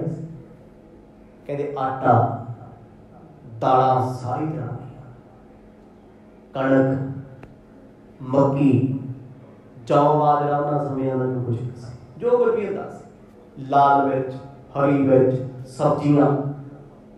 ਇੱਥੋਂ ਤੱਕ ਸ਼ਹਿਦ, ਗੁੜ, ਮਿੱਠਾ, ਸ਼ੱਕਰ ਸ਼ੁਕਰ ਜੋ ਵੀ ਸੀ। ਕਹਿੰਦੇ ਜੋ ਕੁਦੇ ਵਸਤੂਆਂ ਸ਼ਕਣ ਛਕਾਉਣ ਵਾਲੀਆਂ ਮਸਾਲਿਆਂ ਤੋਂ ਲੈ ਕੇ ਹਰ ਚੀਜ਼ ਰੱਖੀ ਹੋਈ, ਚੀਨੀ ਜਿਹੜੀ ਉਹਨਾਂ ਸਮਿਆਂ ਦੀ ਹੁੰਦੀ ਸੀ। ਚਿੱਟੀ ਖੰਡ ਜਿਹਨੂੰ ਕਹਿ ਦਿੰਦੇ, ਪੂਰਾ ਖੰਡ। ਇਹ ਸਾਰੀਆਂ ਆਈਟਮਾਂ ਰੱਖ ਲਈਆਂ ਨੇ। ਕਿਉਂਕਿ ਇਹ ਜੋ ਕੁਝ ਵੀ ਦੱਸ ਰਹੇ ਨੇ, ਹਲਦੀ, ਲੂਣ, ਮਿਰਚ, ਇਹ ਘਰੇਲੂ ਵਸਤੂਆਂ ਨੇ, ਕਿਚਨ 'ਚ ਕੰਮ ਆਉਣ ਵਾਲੀਆਂ, ਜਵੈਣ, ਜੀਰਾ, ਰਾਈ, ਜੋ ਕੁਝ ਵੀ ਪ੍ਰਾਪਤ ਹੁੰਦਾ ਹੈ, ਸਾਰਾ ਕੁਝ ਖੇਤਾਂ 'ਚ ਹੀ ਉਗਾਇਆ ਜਾਂਦਾ ਹੈ। ਸਭ ਇੱਕ ਜਿਮੀਦਾਰ ਦੀ ਮਿਹਨਤ ਹੈ। ਹਰ ਵਸਤੂ ਸਬਜ਼ੀਆਂ ਤੋਂ ਲੈ ਕੇ ਫਲਾਂ ਤੱਕ ਮੋਦੀ ਖਾਨੇ ਵਿੱਚ ਰੱਖੀਆਂ ਗਈਆਂ ਨੇ। ਖਾਨਤੀ ਸਿਤੋ ਪਲ। ਸਿਤਾ ਸੋ ਗੁੜ ਆਦ ਜੋ ਚਣਕ ਜਵਨ ਕੇ ਅੰਬਾਰ, ਰਾਖੇ ਲਾਈ ਕੈ। ਹੌਲੀ ਹੌਲੀ ਮੋਦੀ ਦਾ ਆਕਾਰ ਵੱਡਾ ਕਰਤਾ, ਜਵਾਂ ਦੇ ਢੇਰ ਲੱਗੇ ਪਏ ਆ, ਛੋਲਿਆਂ ਦੇ ਕਾਲੇ ਚਨੇ, ਕਾਲੇ ਛੋਲੇ, ਵੱਡੇ ਵੱਡੇ ਢੇਰ। ਕਿਉਂਕਿ ਇਹ ਵਿਰਾਸਤੀ ਚੀਜ਼ਾਂ ਸੀ, ਸਾਨੂੰ ਵਿਰਾਸਤ ਚੋਂ ਮਿਲੀਆਂ ਹੋਈਆਂ ਸੀ, ਧਰਤੀ ਚੋਂ ਪੈਦਾ ਕਰਦੇ ਸੀ, ਉਹਨਾਂ ਸਮੇਂ 'ਚ ਆਰਗੈਨਿਕ ਸ਼ਬਦ ਨਹੀਂ ਸੀ ਹੁੰਦਾ। ਆਰਗੈਨਿਕ ਤੇ ਤਾਂ ਹੋਵੇ ਜੇ ਪੈਸਟੀਸਾਈਡ ਹੁੰਦਾ ਕੋਈ, ਸਪਰੇਹਾਂ ਹੁੰਦੀਆਂ ਯੂਰੀਆ ਪੈਂਦਾ ਦਵਾਈਆਂ ਪੈਂਦੀਆਂ ਉੱਥੇ ਜੋ ਧਰਤੀ ਨੂੰ ਦੇਣਾ ਉਹਨੇ ਡਬਲ ਕਰਕੇ ਦੇ ਦੇਣਾ। ਹੁਣ ਤੇ ਧਰਤੀ ਵੀ ਸਾਡੇ ਵਰਗੀ ਹੋ ਗਈ। ਜਦੋਂ ਤੱਕ 5-7 ਸਪਰੇਹਾਂ ਨਹੀਂ ਕਰਦੀ ਉਦੋਂ ਤੱਕ ਬਣਦਾ ਕੁਝ ਨਹੀਂ। ਡਾਕਟਰ ਕਹਿੰਦੇ ਹਰੀ ਮਿਰਚ ਖਾਓ ਅੱਖਾਂ ਦੀ ਨਿਗਾਹ ਤੇਜ਼। ਪਰ ਜਿਹਨੇ ਬੀਜੀ ਸੋ ਤੋਂ ਪੁੱਛੋ ਕਹਿੰਦਾ ਚਾਰ ਸਪਰੇਹਾਂ ਕੀਤੀਆਂ ਤਾਂ ਹੋਈ ਹੈ ਹੁਣ ਐਮਪੀ ਵਾਲੀ ਕਣਕ ਦੇ ਪਿੱਛੇ ਪਏ ਹੋਏ ਸਾਡੇ ਲੋਕ ਕਹਿੰਦੇ ਕਾਲੀ ਕਣਕ ਦਾ ਆਟਾ ਖਾਇਆ ਕਰੋ। ਉੱਥੇ ਵੀ ਸਪਰੇਹਾਂ ਕਰੀ ਫਿਰਦੇ ਤੁਸੀਂ ਜਿੰਨਾ ਮਰਜ਼ੀ ਆਰਗੈਨਿਕ ਬੀਜੀ ਜਾਓ, ਜਦੋਂ ਧਰਤੀ ਵਿੱਚ ਨਾਈਟ੍ਰੋਜਨ ਘਟਦੀ ਜਾਂਦੀ ਹੈ, ਕਿਤੇ ਵੱਧਦੀ ਜਾਂਦੀ ਹੈ, ਸਪਰੇਹਾਂ ਦਾ ਕੀਤਾ ਹੋਇਆ ਅਸਰ 7-7 ਸਾਲ ਨਹੀਂ ਜਾਂਦਾ। ਬਿਨਾਂ ਸਪਰੇ ਤੋਂ ਜੋ ਮਰਜ਼ੀ ਬੀਜੀ ਜਾਓ, ਜੋ ਪਹਿਲਾਂ ਕੀਤੀ ਹੋਈ, ਉਹ ਨਿਕਲ ਜੂ ਹੌਲੀ ਹੌਲੀ ਜਾਊਗੀ ਅੱਜ ਜ਼ਹਿਰ ਖਾ ਰਹੇ ਆ, ਜ਼ਹਿਰ ਪੀ ਰਹੇ ਆ, ਜ਼ਹਿਰ ਸੁੰਘ ਰਹੇ ਆ, ਫੇਰ ਵੀ ਧੰਨ ਦੁਨੀਆ ਜਿਹੜੀ ਟਾਈਮ ਟਪਾਈ ਜਾਂਦੀ ਆ। ਖੁਦਾ ਨਾਮ ਹਰ ਵੇਲੇ ਕੈਮੀਕਲ ਖਾ ਕੇ ਜਿਉਂਦੇ ਰਹਿਣਾ ਬੜਾ ਵੱਡਾ ਸੰਘਰਸ਼ ਹੈ। ਫਰੂਟ ਲੈ ਲਓ। ਅੱਗੇ ਕਹਿੰਦੇ ਸੀ ਨਾ ਫਲ ਖਾਇਆ ਕਰੋ। ਮੈਂ ਕਹਿੰਦਾ ਉਹ ਲੋਕ ਚੰਗੇ ਜਿਹੜੇ ਫਰੂਟ ਨਹੀਂ ਖਾਂਦੇ। ਚੰਗੇ ਆ ਉਹ। ਕਿਉਂ? ਹਰ ਫਰੂਟ ਉੱਤੇ ਕਿੰਨੀਆਂ ਸਪਰੇਹਾਂ ਹੋਈਆਂ ਜਾਣੀਆਂ ਕਿੱਥੇ? ਅੰਦਰ। ਮੁੱਲ ਦੀਆਂ ਸਬਜ਼ੀਆਂ ਲੈ ਕੇ ਆਵਾਂਗੇ ਸਪਰੇਹਾਂ ਕੀਤੀਆਂ ਜਾਣੀਆਂ ਕਿੱਥੇ ਨੇ? ਅੰਦਰ। ਸਰੀਰ ਕੀ ਕਰੂਗਾ? ਹੁਣ ਤੇ ਬਹੁਤੇ ਫਰੂਟ ਖਾਣ ਵਾਲੇ ਵੀ ਡਾਕਟਰਾਂ ਦੇ ਆਲੇ ਦੁਆਲੇ ਰਹਿੰਦੇ ਆ। ਖੁਦਾ ਦਾ ਨਾਮ ਨੋਟ ਕਰਿਓ। ਜ਼ਿਆਦਾ ਫਰੂਟ ਛਕਣ ਵਾਲੇ, ਜ਼ਿਆਦਾ ਸਬਜ਼ੀਆਂ ਖਾਣ ਵਾਲੇ, ਇਹ ਸਾਰੇ ਬਿਮਾਰ ਨੇ। ਸਬਜ਼ੀ ਵਿਚਾਰੀ ਕੀ ਕਰੂਗੀ? ਕਿੰਨੀਆਂ ਤੇ ਸਪਰੇਹਾਂ ਉੱਤੇ ਹੋਈਆਂ, ਗੰਦੇ ਪਾਣੀ ਸੀਵਰਾਂ ਦੇ ਲੱਗਦੇ ਕੈਮੀਕਲ ਦੇ ਲੱਗ ਰਹੇ ਆ, ਤੇ ਉਹ ਜਦੋਂ ਜ਼ਹਿਰ ਅੰਦਰ ਜਾਣੀ ਡਬਲ ਹੋ ਜਾਂਦੀ ਹੈ। ਹੁਣ ਤੇ ਉਹੀ ਹੈ, ਜਿਹੜੇ ਪਹਿਲਾਂ ਕਹਿੰਦੇ ਸੀ ਨਾ, ਦਾਲ ਰੋਟੀ ਘਰ ਦੀ, ਦੀਵਾਲੀ ਅੰਮ੍ਰਿਤਸਰ ਦੀ ਬਸ ਆ ਠੀਕ ਹੈ ਸਿੰਪਲ ਜਿਹਾ ਫੁਲਕਾ ਛਕ ਲਓ, ਜਿੰਨਾ ਕੁ ਪਰਹੇਜ਼ ਕਰ ਸਕਦੇ, ਕਰ ਲਓ ਉਹਨਾਂ ਹੀ ਚੰਗਾ ਉਹਨਾਂ ਸਮਿਆਂ ਵਿੱਚ ਕਹਿੰਦੇ ਸਾਰੀਆਂ ਚੀਜ਼ਾਂ ਜੋ ਪਿੱਛੇ ਦਿਖਾਇਆ ਹੈ ਕਵੀ ਜੀ ਨੇ ਬੋਲਿਆ ਹੈ, ਕਹਿੰਦੇ ਢੇਰਾਂ ਦੇ ਢੇਰ ਲੱਗੇ ਅਬਾਰ ਲੱਗੇ ਨੇ ਗੁਰੂ ਸਾਹਿਬ ਕਦੇ ਨਹੀਂ ਤੋਲਦੇ ਵੀ ਕਿੰਨੇ ਕੁਆਂਟਲ ਲਾ ਕੇ ਗਏ ਨੇ ਕਿੰਨੇ ਟਨ ਛੱਡ ਕੇ ਗਏ ਨੇ ਤੇ ਇਹ ਚੋਂ ਕਿੰਨਾ ਬਚੂਗਾ ਕਿੰਨਾ ਫਾਇਦਾ ਹੋਊਗਾ ਫਾਇਦੇ ਫੂਦੇ ਵਾਲੀ ਕਾਪੀ ਨਹੀਂ ਸੀ ਉਹਨਾਂ ਰੱਖੀ ਕਦੇ ਕੋਲੇ। ਬਸ ਜੋ ਵੀ ਸੀ ਰੱਬ ਸਬੱਬੀ ਚੱਲਦਾ ਏ। ਹੋਤ ਭੀਰ ਭਾਰੀ ਲੈਨ ਹਰ ਨਹਿ ਪਾਈ ਵਾਰੀ। ਦੇਤ ਪੁਨ ਸਾਰੀ ਤੇ ਪਰ ਦੋਖ ਲੋਗਣਾਈ ਕੈ। ਭਾਈ ਬਾਲਾ ਜੀ ਕਹਿੰਦੇ ਸਵੇਰ ਤੋਂ ਕਤਾਰਾਂ ਲੱਗ ਜਾਂਦੀਆਂ ਨੇ, ਸ਼ਾਮ ਤੱਕ ਧੱਕਾ ਹੀ ਪੈਂਦਾ। ਲੋਕ ਵੱਡੇ ਵੱਡੇ ਥੈਲੇ ਲੈ ਕੇ ਆਉਂਦੇ, ਝੋਲੇ ਲੈ ਕੇ ਆਉਂਦੇ, ਭਰ ਭਰ ਲੈ ਕੇ ਜਾਂਦੇ ਨੇ। ਕਹਿੰਦੇ ਅੱਗੇ ਦੁਕਾਨ ਖੁੱਲਦੀ ਸੀ 6 ਵਜੇ, ਫੇਰ ਆ ਗਈ 5:30 ਫੇਰ ਆ ਗਈ 5 ਕਹਿੰਦੇ ਹੁਣ ਗੁਰੂ ਸਾਹਿਬ ਨੂੰ ਅੰਮ੍ਰਿਤ ਵੇਲੇ 4 ਵਜੇ ਆਉਣਾ ਪੈਂਦਾ ਕਿਉਂਕਿ ਲੋੜਵੰਦ ਕੱਲੇ ਸੁਲਤਾਨਪੁਰ ਲੋਧੀ ਦੇ ਨਹੀਂ, ਬੜੀ ਦੂਰੋਂ ਦੂਰੋਂ ਕਹਿੰਦੇ, ਆ ਕੇ ਲਾਈਨਾਂ 'ਚ ਖੜ ਜਾਂਦੇ ਮਰਦ ਇਸ ਵਕਤੇ ਤਾਂ ਆਉਂਦੇ ਆ, ਭਲਕੇ ਭਲਕੇ, ਇਸ ਲਈ ਆ ਜਾਂਦੇ ਅਰਲੀ ਮਾਰਨਿੰਗ ਵੀ ਕੋਈ ਭੁੱਖਾ ਪਿਆਸਾ ਸ਼ਾਮ ਤੱਕ ਸਾਡੀ ਲਾਈਨ 'ਚ ਨਾ ਖੜੇ ਆਖੋ ਸਤਿਨਾਮ ਭਾਈ ਬਾਲਾ ਜੀ ਕਹਿੰਦੇ, ਮੈਂ ਲਾਈਨਾਂ ਦੀ ਤਰਤੀਬ ਕਰਾਉਣੀ, ਗੁਰੂ ਸਾਹਿਬ ਸਾਹਮਣੇ ਬੈਠੇ ਆ, ਵਸਤੂ ਦੇਣੀ ਤੇਰਾ ਤੇਰਾ। ਗਿਣਤੀ ਵਾਲਾ ਤੇਰਾ ਨਹੀਂ ਵੀ 12 ਤੋਂ ਬਾਅਦ ਜਿਹੜਾ 13 ਨੰਬਰ ਹੈ। ਅੱਜ ਸਾਨੂੰ ਭਲੇਖਾ ਇਸ ਤੇ ਫੋਨਾਂ ਦੇ ਨੰਬਰ ਲਈ ਫਿਰਦੇ ਆ, ਤੇਰਾ ਤੇਰਾ। ਇਹ ਥੋੜਾ ਸੀ, ਤੇਰਾ ਭਾਵ ਤੂੰ ਨਿਰੰਕਾਰ ਸਭ ਕੁਝ ਤੇਰਾ। ਉਹਦਾ ਸ਼ੁਰੂ ਹੋ ਗਿਆ ਕੰਮ। ਹੁਣ ਬੜੀ ਆਨੰਦਮਈ ਕਥਾ ਚੱਲਣੀ ਹੈ ਅੱਗੇ ਮੋਦੀ ਖਾਨੇ ਦੀ ਸਮਾਂ ਬਿਲਕੁਲ ਸਮਾਪਤ ਹੋ ਗਿਆ ਜੀ। ਜਿਵੇਂ ਜਿਵੇਂ ਮਰਦ ਕਿਰਤ ਕਰਨਗੇ ਕਾਰ ਕਰਨਗੇ, ਫਿਰ ਕੀ ਕੁਝ ਹੋਣਾ ਕਿਉਂਕਿ ਇੱਥੇ ਆ ਕੇ ਕਥਾ ਨੇ ਕਈ ਟਰਨ ਲੈਣੇ ਆ। ਮੋਦੀ ਖਾਨਾ ਸੌਖਾ ਹੀ ਕਰ ਲਿਆ ਸੀ। ਹਜੇ ਤੇ ਬੜਾ ਸੁਣ ਕੇ ਸੌਖਾ ਲੱਗਦਾ ਨਾ ਵੀ 1000 ਰੁਪਇਆ ਦੇਤਾ ਸਮਾਨ ਪਾ ਲਿਆ ਤੇ ਜਿੱਦਣ ਘੱਟ ਵੱਧ ਗਿਆ ਫਿਰ ਕੀ ਬਣੂਗਾ? ਮਰਦ ਪਰਵਾਹ ਨਹੀਂ ਕਰਦੇ ਕਿਸੇ। ਹੁਣ ਜਦੋਂ ਪਰਵਾਹ ਨਹੀਂ ਕਰਾਂਗੇ ਤੇ ਦੁਨੀਆ ਤੁਹਾਡੇ ਤੇ ਬਾਜ ਵਰਗੀ ਅੱਖ ਰੱਖੇਗੀ ਵੀ ਕਰਦੇ ਕੀ ਆ। ਜਿਵੇਂ ਜਿਵੇਂ ਮਹਾਰਾਜ ਕਿਰਪਾ ਕਰਨਗੇ, ਆਪਾਂ ਆਨੰਦ ਮਾਣਦੇ ਰਹਿਣਾ ਇਸੇ ਤਰ੍ਹਾਂ। ਵਾਹਿਗੁਰੂ ਵਾਹਿਗੁਰੂ।